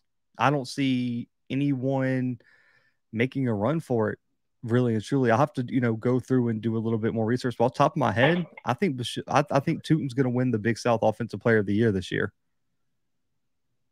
He's got a couple more records to break. If he runs for 100 against Norfolk, he'll break another school record, the most 100 yard games in a season. Tarik Cohen had that with seven total. and uh, I think uh, he's got a shot to tie somebody in the Big South for ten straight games, for ten total in a season. So we might we might walk out of the Big South with a couple records, man. I'm looking forward to it. Hey man, it was a big win for you guys, and I, I don't see y'all losing a game down the stretch. So I just need y'all not to get blown out in the playoffs, please. I, I can't I can't handle it emotionally. So you, I don't. So I'm assuming that Mercer's probably going to get the home game if it falls that way. I don't. There's no scenario where A and T could potentially play a home game. Is that accurate to say? I mean, it depends on how much y'all put up. I mean, how much how much uh, you know A and T and the people behind the scenes. How much will they really put up to host a game? Realistically, like what would a Oh, that- realistic bid bid be? Oh, that's how it works. It's not. Ba- it's not based on. It's not based on like your rankings. It's based on who's willing to put up what, how much money. just the first round. Uh, once it gets to the second round, the higher seeded team hosts. But in the first round, both teams bef- before they even know who they're matched up against. So this is as soon as you're picked for the playoffs before the brackets announced, everybody puts a check like in this blank um, envelope. The committee has it. They make the bracket, and then they put the envelopes together, and whoever bid the most money gets to host the game. Oh my goodness! I did not know that. I just learned something new. Wow. That's why James Yeah, I Madison. don't know. I don't. James Madison was losing money before they were uh, the, you know, before they broke into the top eight C's. There were a lot of schools that were just putting just outrageous bids, but a lot of teams bid based on ways they don't they don't lose a lot of money if that makes sense. So like if they expect this sort of profit, they'll bid a certain amount based off that. Yeah, I don't. I'm gonna be honest. I don't see a. I could be wrong, and maybe that'll be a, a discussion point for the for the folks at Blue Death Valley. But I don't see us raising that much money to put a bid in to get a home game because I don't think A and T's in the in the sport of losing money either. So I mean, and Yeah, really and truly, That's when you good- look at those that's teams in South Carolina, North Carolina, Virginia, man, it really don't matter who hosts. I mean, the travel is going to be nothing because there's teams that are within 100 miles of everybody's campus. Like when you look at, I mean, A&T, Furman, um, all those teams in that area, even Elon, if they get in, I mean, they're all right there. That's an easy bus trip for anybody. yeah. So, uh, did you have a chance to watch the game yet? Because I, I got Yeah, a quick I w- question for you. I got Yeah, I went back and watched it. question for you involving Campbell. Yeah, go ahead. So there's been rumblings that Coach Minter might be leaving after this year The the to go to another school locally. So the the I don't know if rumors, you've heard, heard anything in your streets or not, but there's been So- rumblings that he might head over to UNC Charlotte, yes, which means that the quarterback will likely transfer to an HBCU. So uh, so the reason that started to be a rumor is because his contract at Campbell actually ends after this year. But based on what I was told, Campbell's going to try to drop as big of a bag as they can to keep him. It's just going to depend on whether Charlotte takes that chance or not. If if he if he gets the bag thrown at him from them, I it's hard not to take that opportunity. But I don't I don't know if they're going to yet because he doesn't have a winning record in terms of head coaching. I mean, listen, he's recruiting the hell out of uh just this next upcoming class, but man, to jump from Campbell to Charlotte right now, man, that's a big risk for Charlotte, but you get that recruiting class. I can see both sides. I would bet though Minter's at Campbell next year if I had if I had to guess. I kind of hope so because I I I said once the move from A&T going to CA and then Campbell joining, I said A&T and Campbell has the potential to be a big rivalry. A&T and Elon already have something going on for years anyway, so you would already have a couple of games intact within the conference in the CAA anyway. So I've always felt like so, and I think with Mike Minter there with, with his Carolina ties, that's huge because he's a Panther legend. Like he's like well renowned in Charlotte from that standpoint. He was on the Super Bowl team from 03. I just don't think So Campbell, I don't think Campbell would have jumped to the CAA knowing they weren't going to extend um, Minter. Why would you want to be going through a head coaching change and try to compete in the CAA? It just it, it would make no it, it, wouldn't make a logical sense to me. But uh, you never know nowadays, man. But I, I, think their whole plan is to keep Minter around, use these new recruiting classes to try to co- try to compete in the CAA early while they try to get their money up. Because you know, Campbell's been trying to invest a lot more money in their athletic programs, and they're going to have to mm-hmm. to compete at um at the high level in the CAA. I mean, look at look at the top of the CAA right now. You got some studs up there in terms of programs, so they're going to have to put a lot more mm-hmm. financial investment. And I can't imagine they're going to want to go through a coaching change year one in the CAA. There's more sports than football, though. I always got to remind folks of that because they got a damn good baseball team over in Campbell, just like A&T has a damn good track team. So yeah, we baseball... lost our, and we lost our track coach right after we made the move to the? CAA. So I mean, and that that Campbell baseball team, I I think is probably the best in the FCS. To be honest with you, I mean they yeah. they took Tennessee, who was the number one overall seed in the tournament, to the brink. Campbell's baseball team is legit, and they got some ballers out there. Yeah, A&T still growing there. They beat it. They beat UNC last season, but you know they still they still a work in progress. But I like the coach there. So hey man, we'll I appreciate we'll be competitive in some sports in the CAA. We'll see how it goes this season. I'm excited to see but, it. Man. Um, hey, appreciate you, man. Only thing I gotta say, man, Howard should be higher than eight.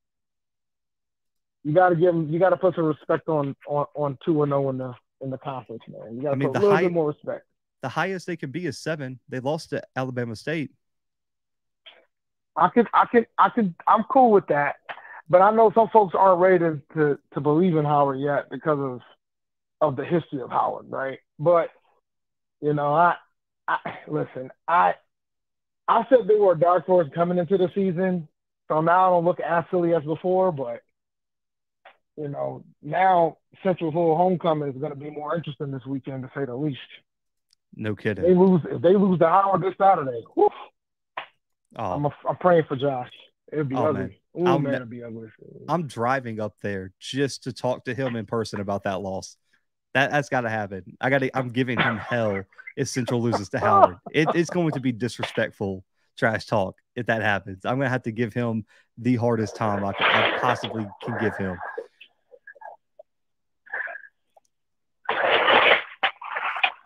But hey, man, appreciate you calling in. All right, Mr. Ford called back in, so I'm gonna go to him, and then seven one six six. You're next, but Mr. Ford, you're live. Yeah, you know I had to respond to the young man, and I, I knew it was say, coming. Yeah, congratulations to North Carolina A&T winning their homecoming in that game against Campbell. And uh, you say I'm hating on A&T. No, I'm hating on your president and your athletic director because I think that they made a move that has reverberated, reverberated throughout black college sports. And I think it was wrong for them to lead the MEAC when the, the biggest problem in the MEAC was that uh, Thomas man, he's gone, and we needed you to be the anchor. Okay? But you hightailed it. First, you go to the Big South, and now you go to the, you say you're going CA. And let me tell you about that. Blue, you just hit it on the head if they go to the playoffs, they're going to get beat to death in the first round. If the NCAA have anything to do with it, they're going to send them back out there to North Dakota State. That's where they're going. Okay? So, young man, you are correct. I'm not hating on the school. I'm hating on the president and the athletic director. But I will say this: I am a big fan of Coach uh, Sam Washington. I was a bigger fan of Rod Broadway's and what Rod Broadway brought to that program. But if you go back and I was at three of them. If listen, North Carolina A&T played Alcorn three times. If you were there, you saw that the, the Alcorn fans outnumbered the A&T fans. I don't care if you saw whatever. The Alcorn fans outnumbered you. Okay? So listen, the, the smart thing would be to match A&T against Florida A&M in the playoff, but the NCAA ain't gonna do that. That's too much like right, because y'all got to understand the NCAA don't do nothing right.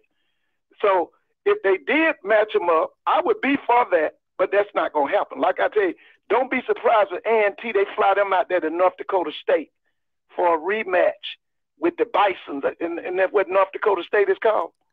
Yes. Yeah. So I just wanted to say, and there was something else he was saying.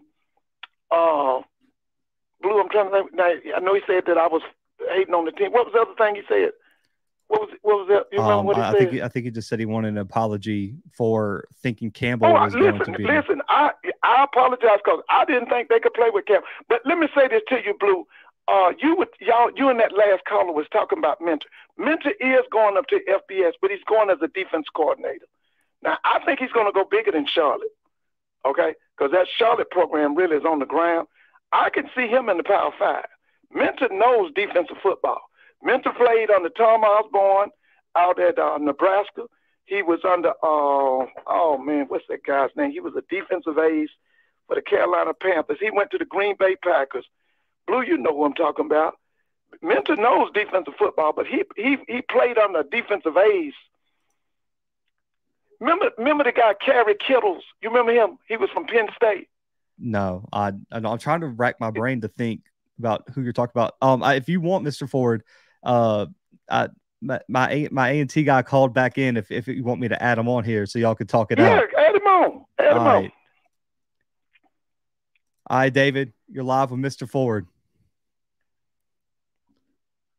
Look, man, I'm not the one that initially made those comments about you expecting an apology, but we got to stop the madness about what's going on regarding the leadership. Like, you got to understand. I understand you don't necessarily agree with the fact that that they made the decision to leave, but I think there's a there's a couple schools within that conference that agree with the, the fact that the leadership has been slacking. Even though we've been, even though the MEAC has been winning, there's a lot of folks that agree with that. that Wait a minute, you saying the leadership is uh, is slacking in the in the MEAC? Absolutely, it is. Wait a minute, I've been saying that 20 years. What are you talking about? But you, Blue can tell you that. You I've told you over and over. You, the main reason that A&T left the uh, MEAC was because they couldn't get Dennis Thomas fired. That's why they left. I know. I've been saying that 20 years. Well, that's my point. See, let me so say, let me see, let, see, let, let, let me say this to you. See, you one of them Johnny come lately. Let, let me tell you something. I've been keeping up with black college sports longer than you've been living. I can tell by the way you're talking. Okay? See, you one of them Johnny come lately, then you're gonna tell me something. Uh, no, uh, uh-uh. uh. I've been te- I've been telling people that Dennis Thomas was a uh, was not, a terrible commissioner be, for twenty years. You're not going to be critical on my chancellor. When my chancellor out here. Oh yeah, yeah, yeah. He made a bad decision. Listen, he fell for the okado from Hilton. Okay, Hilton gave him this plan of leaving. Because let me tell you something. I've said it over and over. You're not going to be able to compete in the CAA because you don't have that kind of money. That's why you ain't going to be able to compete. So next year, I'm happy for you what you're doing in the in the in the uh, Big South and all of that. Okay, but when you get to the CAA, you don't have that kind of money. You talking about playing Villanova? Villanova spending 58 million. You spending 16 million. You ain't gonna be able to compete in that conference. You can forget it. Well, we'll but I, do, I, and you're right. You did. You're right. I, I would like to say, uh, congratulations on you winning G-Ho because I did not think you would beat Campbell, and it was a great job. It was, and I, I do give you that. I, I do. Mr. Ford, I, I, I, wasn't, I wasn't the same. I, am not the same guy from earlier that was asking about all your problems. But I think the reason why I'm down here, you guys, you guys are make you were making it more focus on the athletic side of the set versus everything else. Like our chancellor grew the university to be the largest largest institute in the nation. So like there's there's more to it than just athletics. I know a lot of folks don't agree with the with the moves that were made, and but they're gonna be fine. They're gonna be okay. They have a plan. We're gonna see if the money comes with this plan, but they do have a plan.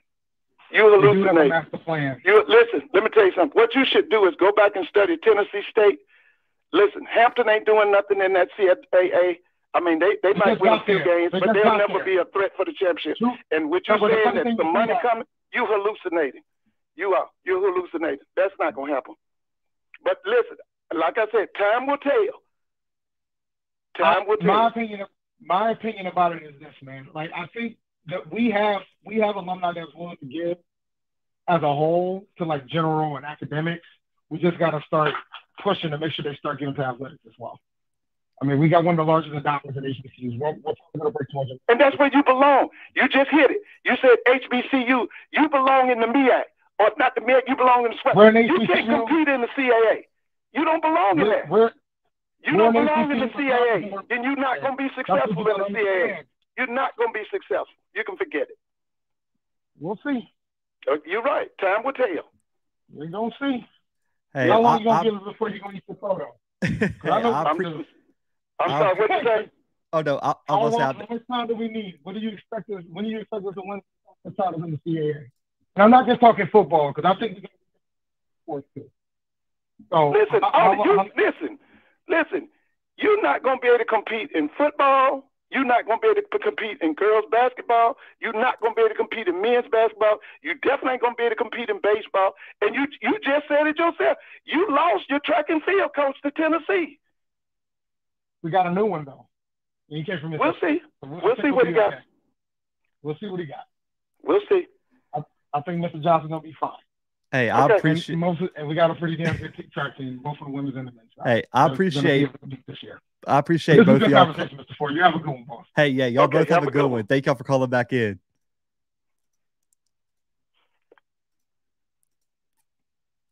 I love it. Hey, they both stuck to their points. I'm good for it.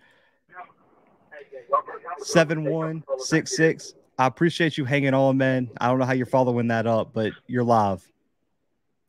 hey, look, man, I ain't even gonna try to compete with Mr. Ford and the old boy, man. I mean, it's all crazy. Hey, look, though, I do want to go off, though, man. I, I gotta let some things off my chest. So, first of all, hey, look, let me ask you a question, Blue. Have you ever been over somebody's house and seen a baby with a saggy diaper? Oh man, yes. I'll go with yes. That that that that's that that's Bashawn McCray, straight baby poop. You know what I mean? Like, dude, listen, dude is not a quarterback. I'm sorry. You know what I mean? Like, I mean, I, I could go on and on, but that's just my assessment.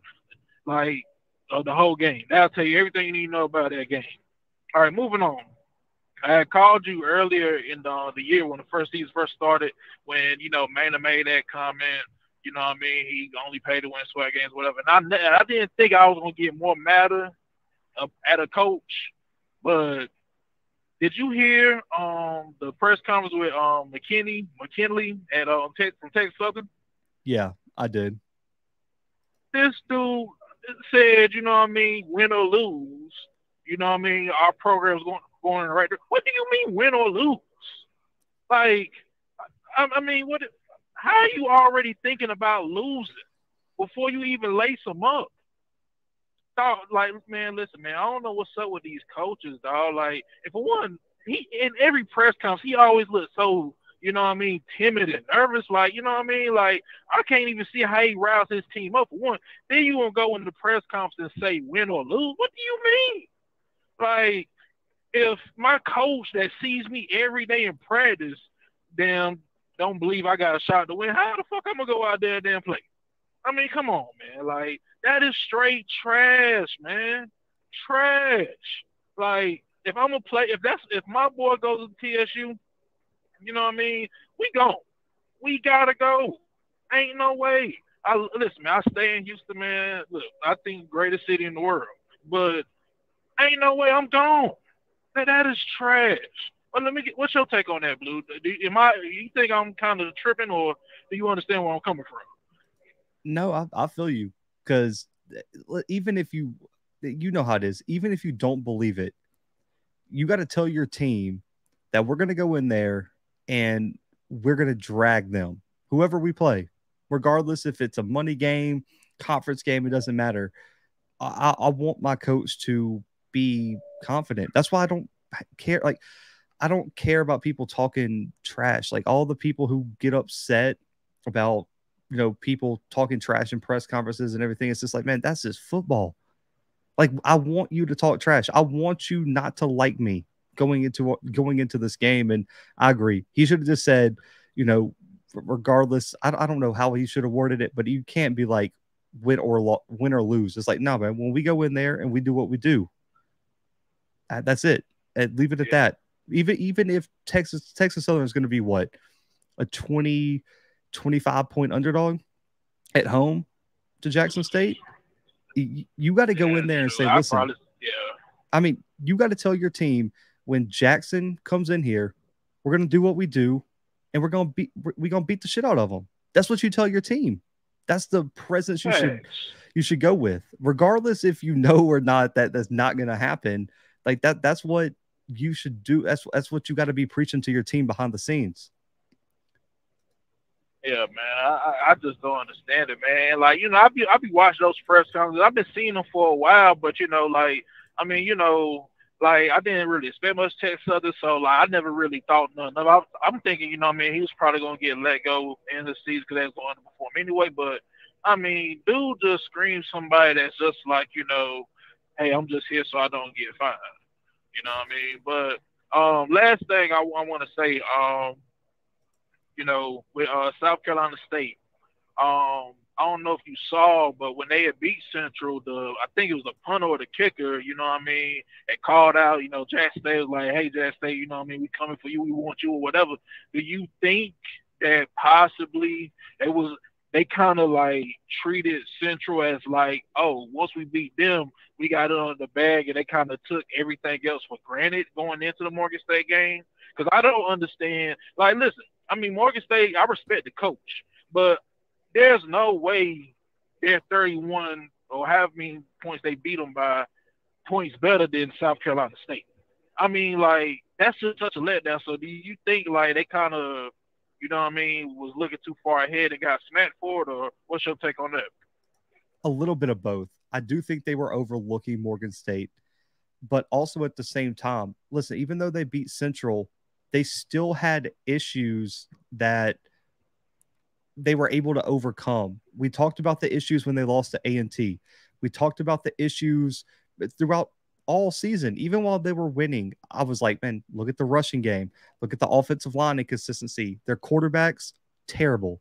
And they were able to overcome that and squeak by Central, who had a chance to win late and due to a bad play call and a bad decision, lost that opportunity. And they lost the game. It is what it is. I just don't think South Carolina State, th- they're all those issues that plagued them all year long, bit, bit them this weekend. And it took a good defensive mind from Morgan State and Damon Wilson and Anton Sewell took advantage of a bad quarterback, forced a bunch of turnovers, and they were able to turn those turnovers into points. And you know, any given Saturday, if Shedeur goes out this weekend against Texas Southern, throws three interceptions, and Texas Southern is able to turn all three interceptions into seven points, they got a chance to lose, even though they're the better team. Right. It's just yeah, South Carolina State. Yeah, they got caught overlooking and they played one of their worst games of the season. That combination of things in football always leads to L's, even if you have the more talented team on paper. Yeah, man. Uh, I completely agree. It's a, I mean, yeah, I don't know what to make of the MEAC, man, but you know, I ain't gonna hold your call lined up. You know what I mean? Y'all already done had enough heat for today, but Blue, good show as always. You know, appreciate you taking the call. Hey, appreciate you, man. All right. 3307. You're live. Hey, Blue. What's good, man? Look, I got a parlay I want you to help me out with. Georgia giving Tennessee eight and a half. Who you like? Oh man, you missed that line. I know you're gonna hate to hear this. I looked I looked at the Tennessee Georgia line on Saturday morning. You could have got Tennessee at plus 14 and a half last week. Yeah, I know it. I know it. I know Sick. it went down. I, I like Tennessee plus eight if you're giving me plus eight, uh, give me Tennessee in that one. So you like Tennessee plus eight or plus fourteen? Yeah, for sure. I think if Georgia, I think whoever wins is going to be close, but I don't. I, I it's still going to be tough to go into Athens and win that game. I'm just going to be honest with you. But Tennessee has that 2010 Auburn, 2019 LSU vibe to them, where they just look like the the chosen team almost. Right. Well, let me ask you this. I know it's the FCS show, but um, what's the chance you think the SEC get three teams in this year? Zero. They're not going to let a conference get three teams because you also got to look at the the the playoff bubble at the FBS. You know, the bubble's a lot smaller. You're going to have the Big Ten champ. either Ohio State or Michigan, probably, probably undefeated, whoever wins that game. You're going to have Clemson. They're not losing a game in the ACC. And then you're still probably going to have TCU has a really good chance of going undefeated and winning. So you have an undefeated Big 12 Big 12 champ in TCU. You'll still have a one-loss Pac-12 champ, whether it's USC or Oregon potentially, and then you're still going to have the SEC champ. I don't I don't think there's any chance any conference gets three teams in a four-team playoff. There's just too many options. Yeah, I agree. All right, on the uh, on the HBCU, right? So Jackson State, you know, they've been doing what they do. Let me ask you this: right now, keeping in mind Prairie View probably has the easiest schedule in the West. Southern, I feel like Southern still is the best team in the West. Who do you think right now is the? Because I'm trying to make plans. I'm a Jackson State fan. I want to make plans. I want to go ahead and, and get my championship game. Who who you think is the likely contender in the West to face Jackson State in the championship? It's going to be PV. Um, you think so? Yeah, because Texas Southern. Uh, let's just say, let's just see, let's say everybody, all the games now on go as scratch. Like there's no big upset. Texas Southern's going to pick up another SWAC loss this weekend against Jackson State. Southern, in my opinion, is going to lose to FAMU this weekend. Alcorn still has to play Jackson State, and they're on like a what three game losing streak in conference. Yeah, Alcorn did I, to me. Yeah, PV, in my opinion, uh, is walking to the SWAC championship. I think PV is going to it, by this week, by this time next week, I think PV is going to have it locked up. So I'm assuming you think they're going to beat Alcorn this week. Man, I can't pick. I, I can't pick Alcorn. I mean, with how bad they've looked, you get beat 35 to six by Grambling, and then you get a short week traveling to PV on the road. I just man, that's that's a tough situation for anybody. Okay. All right, that was up, Blue. I appreciate it, man. Hey, appreciate you.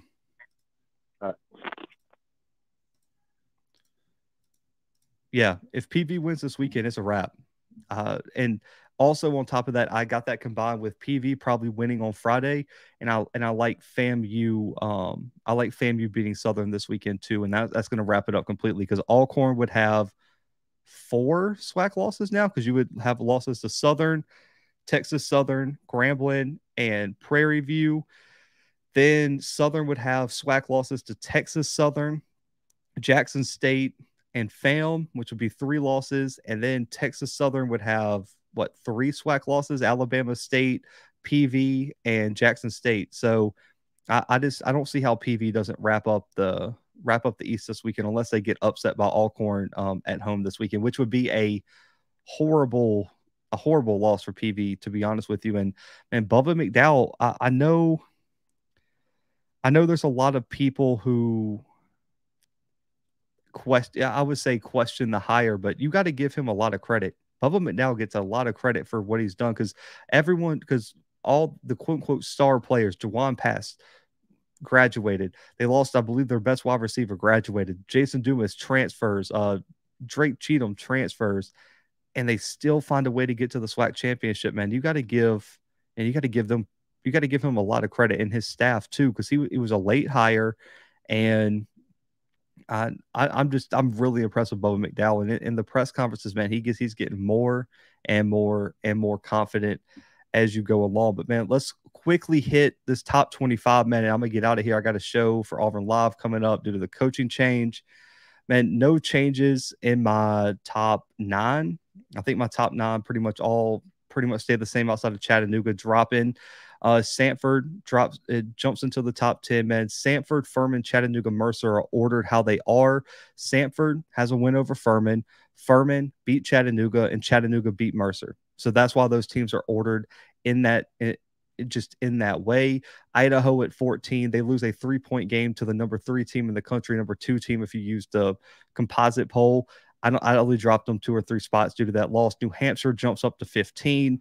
New Hampshire has been rolling outside of that central loss that they've had. They're undefeated in CAA play, so they, they deserve a top 15 spot. Elon wins over Richmond and Delaware. That's why I have Elon ranked above both of them. The Grizz stay at 19. They've had a brutal schedule, but they're going to have to win these next three games to probably make a playoff run.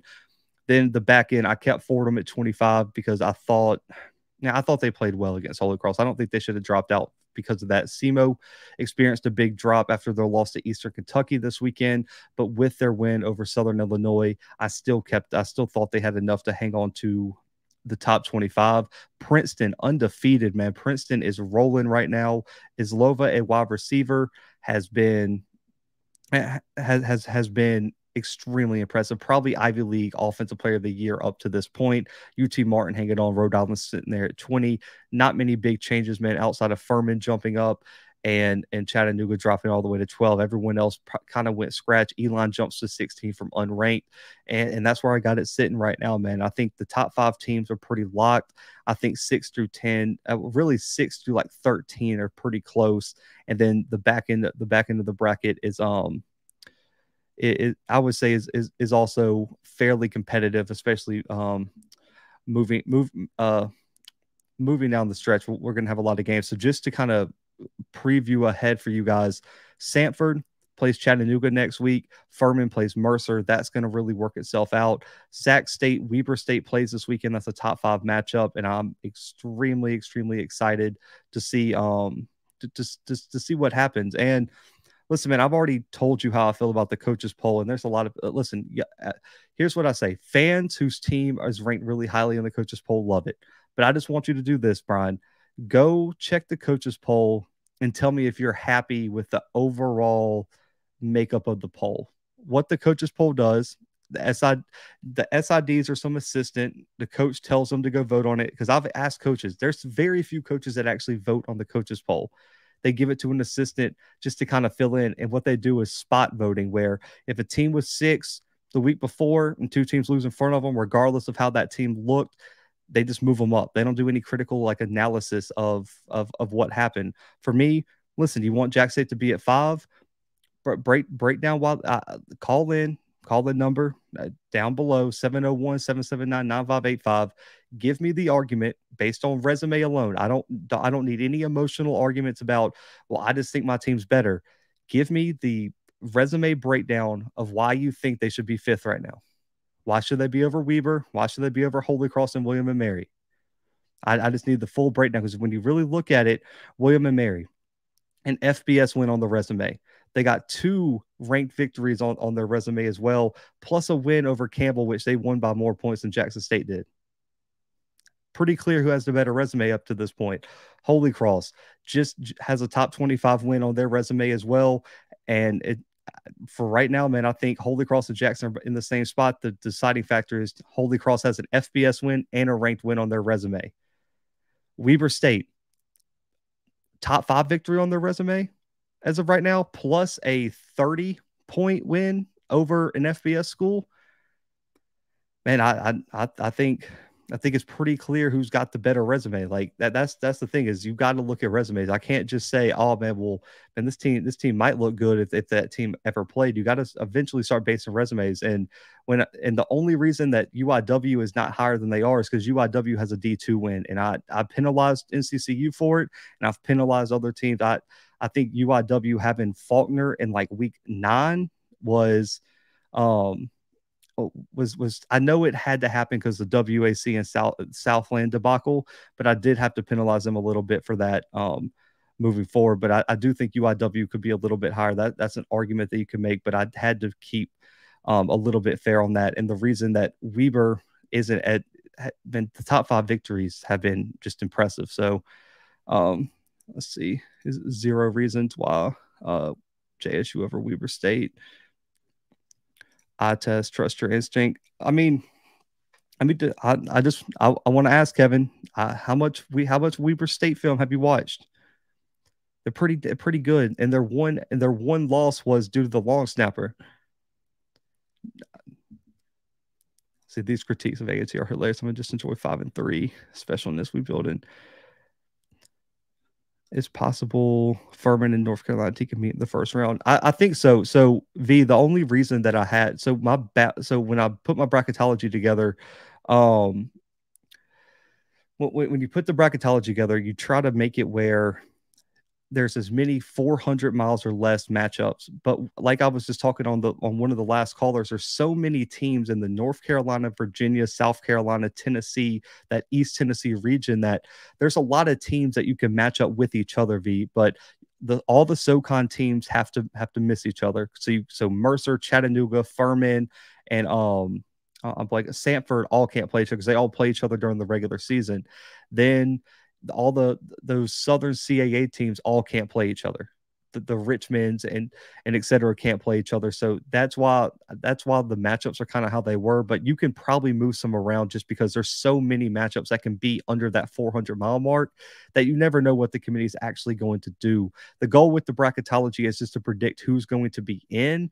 You never know who necessarily will be paired, especially when there's two teams within 400 miles of each other or like three or four teams in that range. You never know who the committee is going to lean to matching the, those teams up with. So it's definitely possible for Furman and A&T to play in that first round, which would be a hell of a matchup too, especially with that run game for both teams. I would love it. Uh, you have a point, but the Campbell score was deceiving. You only play the teams in front of you.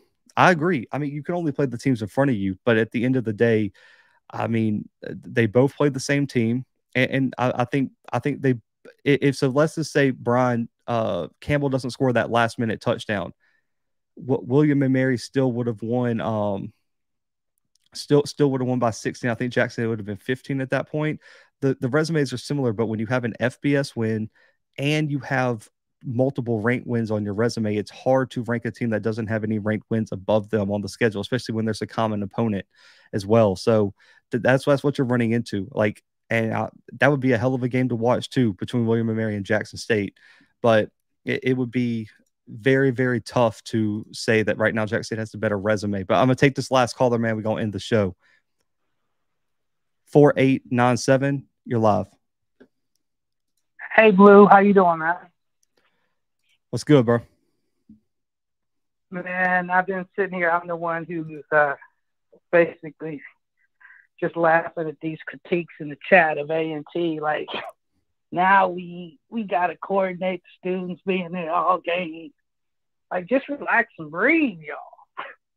Um, my my question, Blue, was it's been on my mind all weekend, and I'm just trying to figure out like how we can get. And I've been talking it up in the chat. Like, if teams are putting checks in envelopes to kind of get a to say, okay, here's I want to host a FCS home playoff game.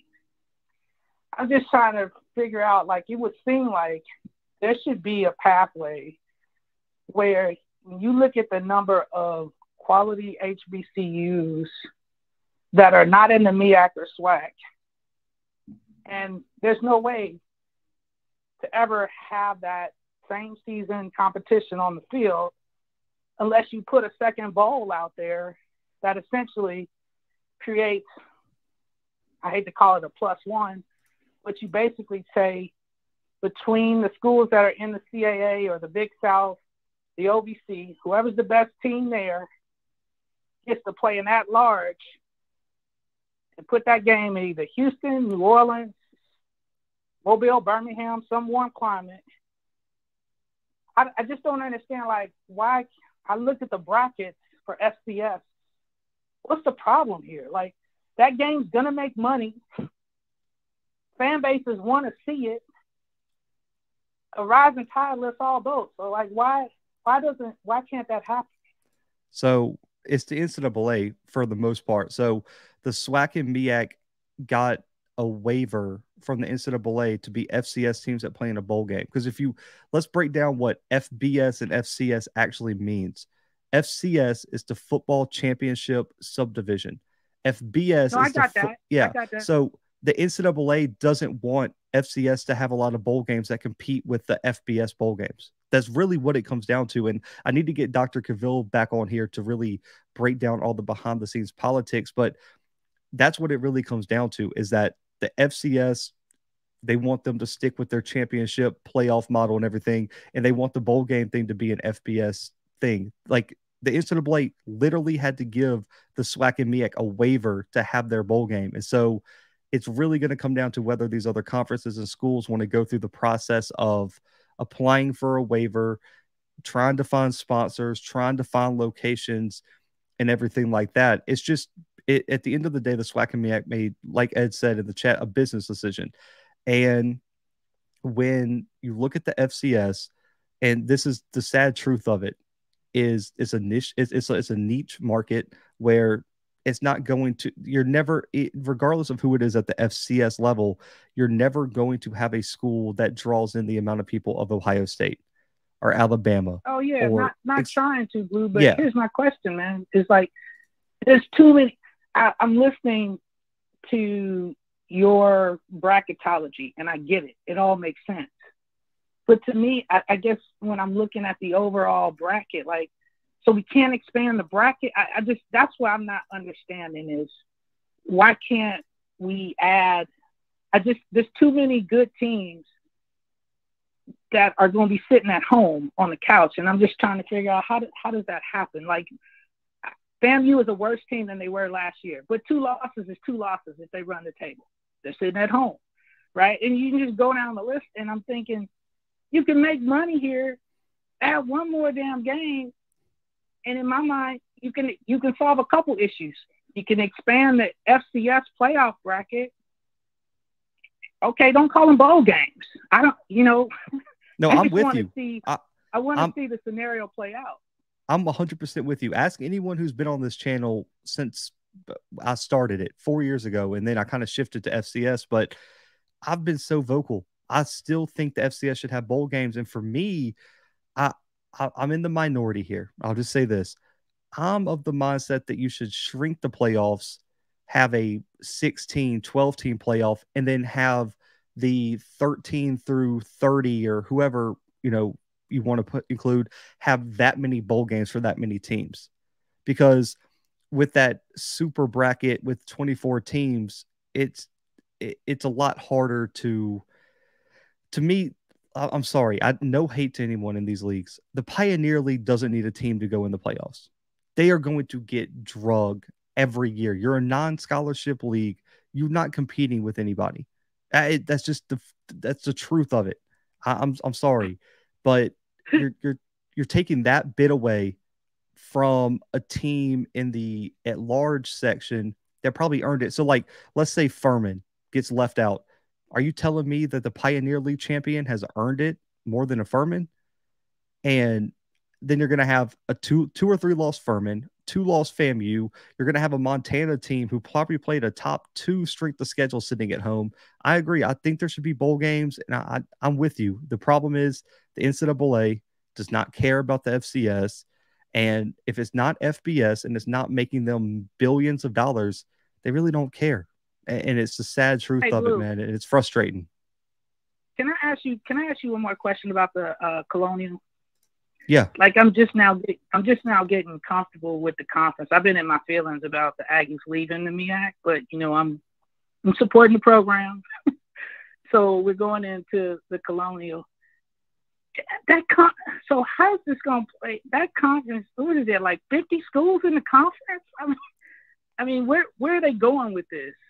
There- It's a lot of schools in that conference, and it feels like they're not done. Am I am I right about that? I mean, Yeah. what, I talked to some people this weekend at Elon who, you know, it was the Elon Delaware game, a lot of CAA people there.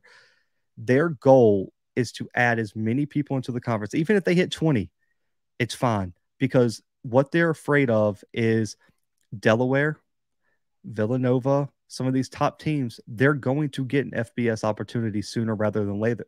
later. So they'd rather have 20 teams in a conference for a year or two and just it'd be out, you know, outrageous. But if they lose six teams, then they're then they're sitting at 14 Oh, then they're sitting at 12 if they lose eight they're they're really preparing themselves for like a quote unquote doomsday scenario where they, they know delaware's looking they know villanova's looking they know some of these top programs are going to be snatched and i think the james madison move really put the office on high alert and now they're just trying to prepare for the next wave of realignment that might affect the caa okay. All right. Hey, that's that's my question. I'm gonna do some more bracketology homework this week before I come at you with anything else. Thanks a lot, Blue. Appreciate you. Appreciate you, man. Yep. I I'm gonna get to these last three callers. Uh, three three six three, four one four eight, and five five one eight. Those are gonna be the last three callers, man. I gotta shut it shut it down because I gotta be out of here by eight thirty. Three three six three, you're live.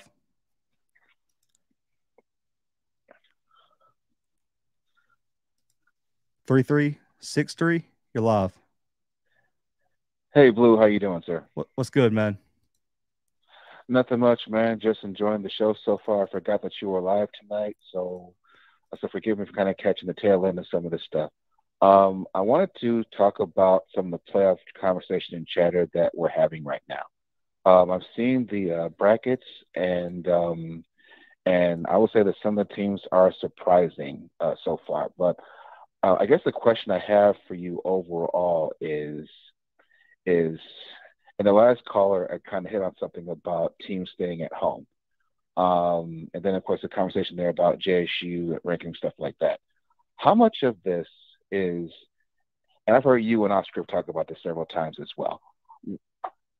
When do you think that MEAC and SWAC conferences are going to take playing other FCS teams much more seriously than just who we usually play outside the conference? I mean, not like you see in the chat right now, a lot of a lot of fans just think it's got to be profitable. So I don't think you're going to see them venture out and play a lot of Big Sky and MVFC teams. But what I'm hoping is because there's a history of playing SoCon, especially MEAC. MEAC's played a lot of SoCon teams. Yes.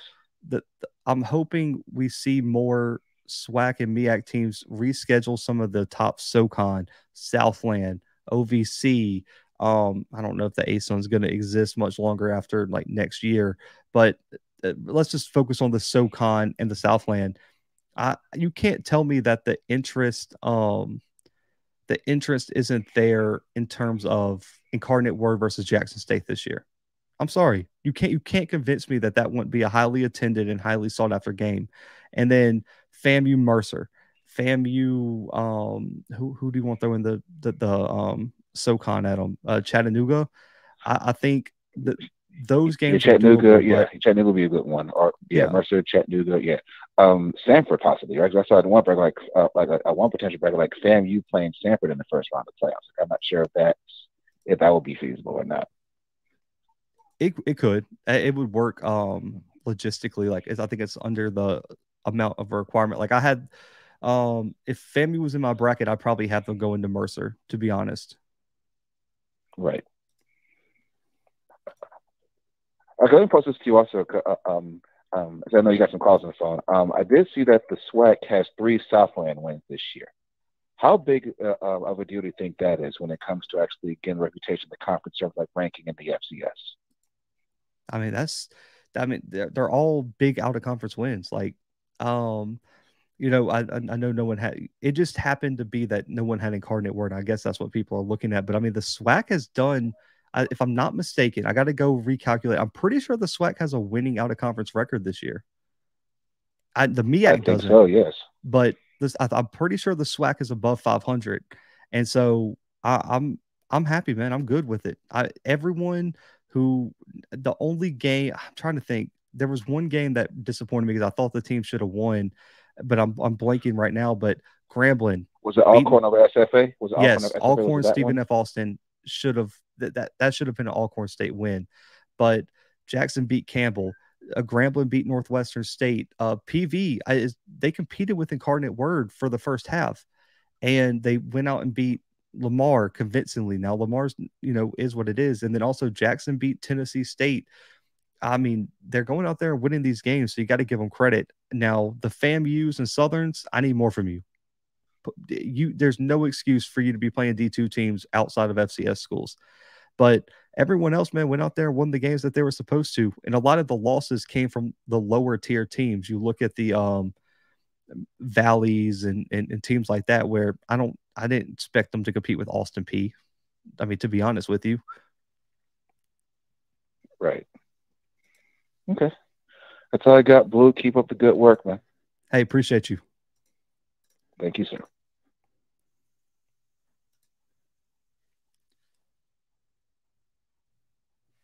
Let's see. Is it not working? We got four one four eight. You're live.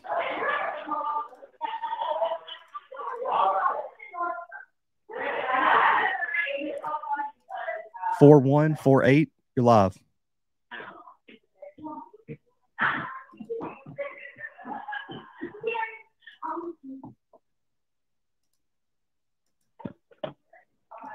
All right, we're moving on here. And I'm gonna address this comment before I get out of here. So this last caller, uh, five five one eight, you're live. DJ, what's going on, Blue? What's good, man? Oh, everything good. Hey, man, I was just um looking at how we're going to the Celebration Bowl. I'm hoping they got still got North Carolina Central and South Carolina State.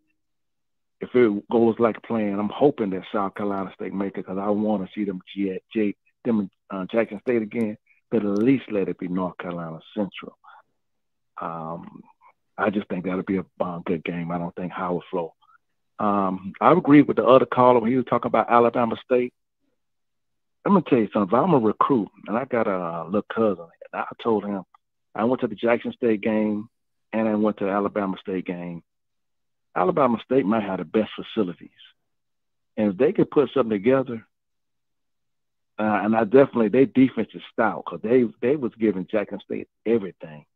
And I'm I'm agree with the caller. If they had any type of offensive plan with their facilities, with their school, they can make a big difference. They can really challenge JSU. If I'm a recruit and I'm looking at both of those schools, and I went to both of those schools looking at both of them, Alabama State, heads up, heads down. I don't know what's going on in Jackson, but I like Alabama State. And uh, my last thing, man, is I see all this money being made at these SEC schools, the ACC schools. Tell me, Blue, you say you play ball. If you were if you were a third string at Auburn, would you rather be at Jackson State or Alabama State starting, or would you rather be on the bench playing with Auburn? Appreciate you, man. Hey, appreciate the call. Um, right. so I'm gonna shut down the call lines real quick. Okay, so I'm gonna take Auburn out of it. I was raised an Auburn fan, like that was my dream to play for Auburn. So listen, I, I might be cool with chilling on the bench, but let's just take Auburn out of it. Let's say I don't have an um, let's just say I don't have an offer uh from you know whoever I wanted to go to. Like hell yeah, I'd rather go play. That's just me but not everyone's built like not not not not built like me, but like no one, not everyone has that mindset. They'd rather sit on the bench for three years and get that opportunity because they know if you get that one year, look at what happened. The first round pick this past year, he sat on the bench. He got one year to go and and and and ball out. He balled out and was the first overall pick. That's what they're betting on, man. So um personally, I would rather go start somewhere for three, four years regardless of where that is. But that's not how everyone thinks, especially in the age of NIL now. That's that's the other thing. But Roby, man, listen, I, I love you. Big supporter of the channel, I know. But man, let, let's let's look at the holistic view of this. And, and this is what I tell people: head-to-head wins aren't everything. Because if you if you say head-to-head wins are all that matters, that means Morgan State needs to be ranked ahead of South Carolina State. That means South Carolina State would therefore have to be ranked above NC Central. And so, are you saying that more and then Morgan State lost to Central? So, how do you rank that? Like head to head wins can't be all you base it on. You can't just say this team beat this team, so therefore they got to be ranked better. If their resume doesn't look better in the grand scheme of things, so that team didn't continue to play well after they beat that team, then then then ultimately it it it doesn't matter in terms of the rankings like you can't just say, "Oh, head to head is all that matters," and everything that happens weeks after that game is um like irrelevant. Like let's let's just t- let's just look at these two teams' schedule. So yes, NCCU beat New Hampshire. Great, big win. They're six and two, but let's, let's they got two wins over uh, one a D two program and then one a NAIA program at Virginia Lynchburg. They got a thirty point loss to Campbell and then just lost to South Carolina State on the road, who just got drugged by 30 by Morgan State. Now, on the flip side, New Hampshire, They're only two losses. Yeah, they got two losses. One was to an FBS school in Western Michigan, and they lost to North Carolina Central in week three. They also have a ranked win over Elon, who just dominated Delaware this past weekend, and they still got two ranked matchups on their resume. Plus, they beat an undefeated Dartmouth team on the road just a week ago. The, uh, the resume for New Hampshire is much stronger than Central right now. And if Central wouldn't have lost to Campbell and South Carolina State, then hell yeah, they probably would be ranked ahead of them. But two two sub FCS wins, a 30 point loss to Campbell, and a loss to South Carolina State, who just got drugged by 30 by Morgan State, is not a be- better resume than than New Hampshire with one of their losses being to an FBS school plus ranked wins on the resume. Uh, so you can say whatever you want, but it's not the FCS. The FCS committee doesn't even make a poll, so that's not that's not the committee trying to like hide Central. That's just the fact that they got two bad wins over over a D two and in a NAIA school and two really bad losses right now. That's just is what it is, and I understand that people like to get upset because it's it's you know their team and they're riding for them, but man, as a voter and as an analyst, you got to look at it without any of the emotion in. The stats don't lie, the resumes don't lie, and it's the fact of the matter is Central does not have a better resume than New Hampshire right now, and it it, it just is what it is, man. And I, I know people don't like to um hear that. But listen, guys, appreciate y'all tuning in, man. Over two hours tonight. Uh, we'll be back on Sunday night. Um, next week. Uh, this week I'll be up in Nashville, Tennessee State SEMO. Still looking forward to going up there, man, to seeing those two teams. Man, Geno Hess Draylen Ellis, all, all the big players in that game. Uh, the week after that, um, I should be at Jackson State, uh, Alabama A&M. Man, it's just that game doesn't have the appeal anymore, man. That, that, that game's, I don't know how great that game's going to be. So I'm still debating on whether I need to travel that weekend. But I should I'll probably be at Jackson State, Alabama A and M. I'll just say I'll just put that as for now, and then um I'll also be at Alcorn State, Jackson State, the final week of the season. Then um that, that, then I'll be making my playoff plans and of course the Celebration Bowl as well. But man, guys, Appreciate y'all tuning in. Hit the like button on y'all's way out. Make sure to subscribe to the channel. If y'all want some Auburn info on the coaching search, man, you can turn over to Auburn Live. That's where I'm headed right now. But appreciate y'all so much. I'll be back Wednesday with the Week 10 FCS preview. But until then, guys, I'm out.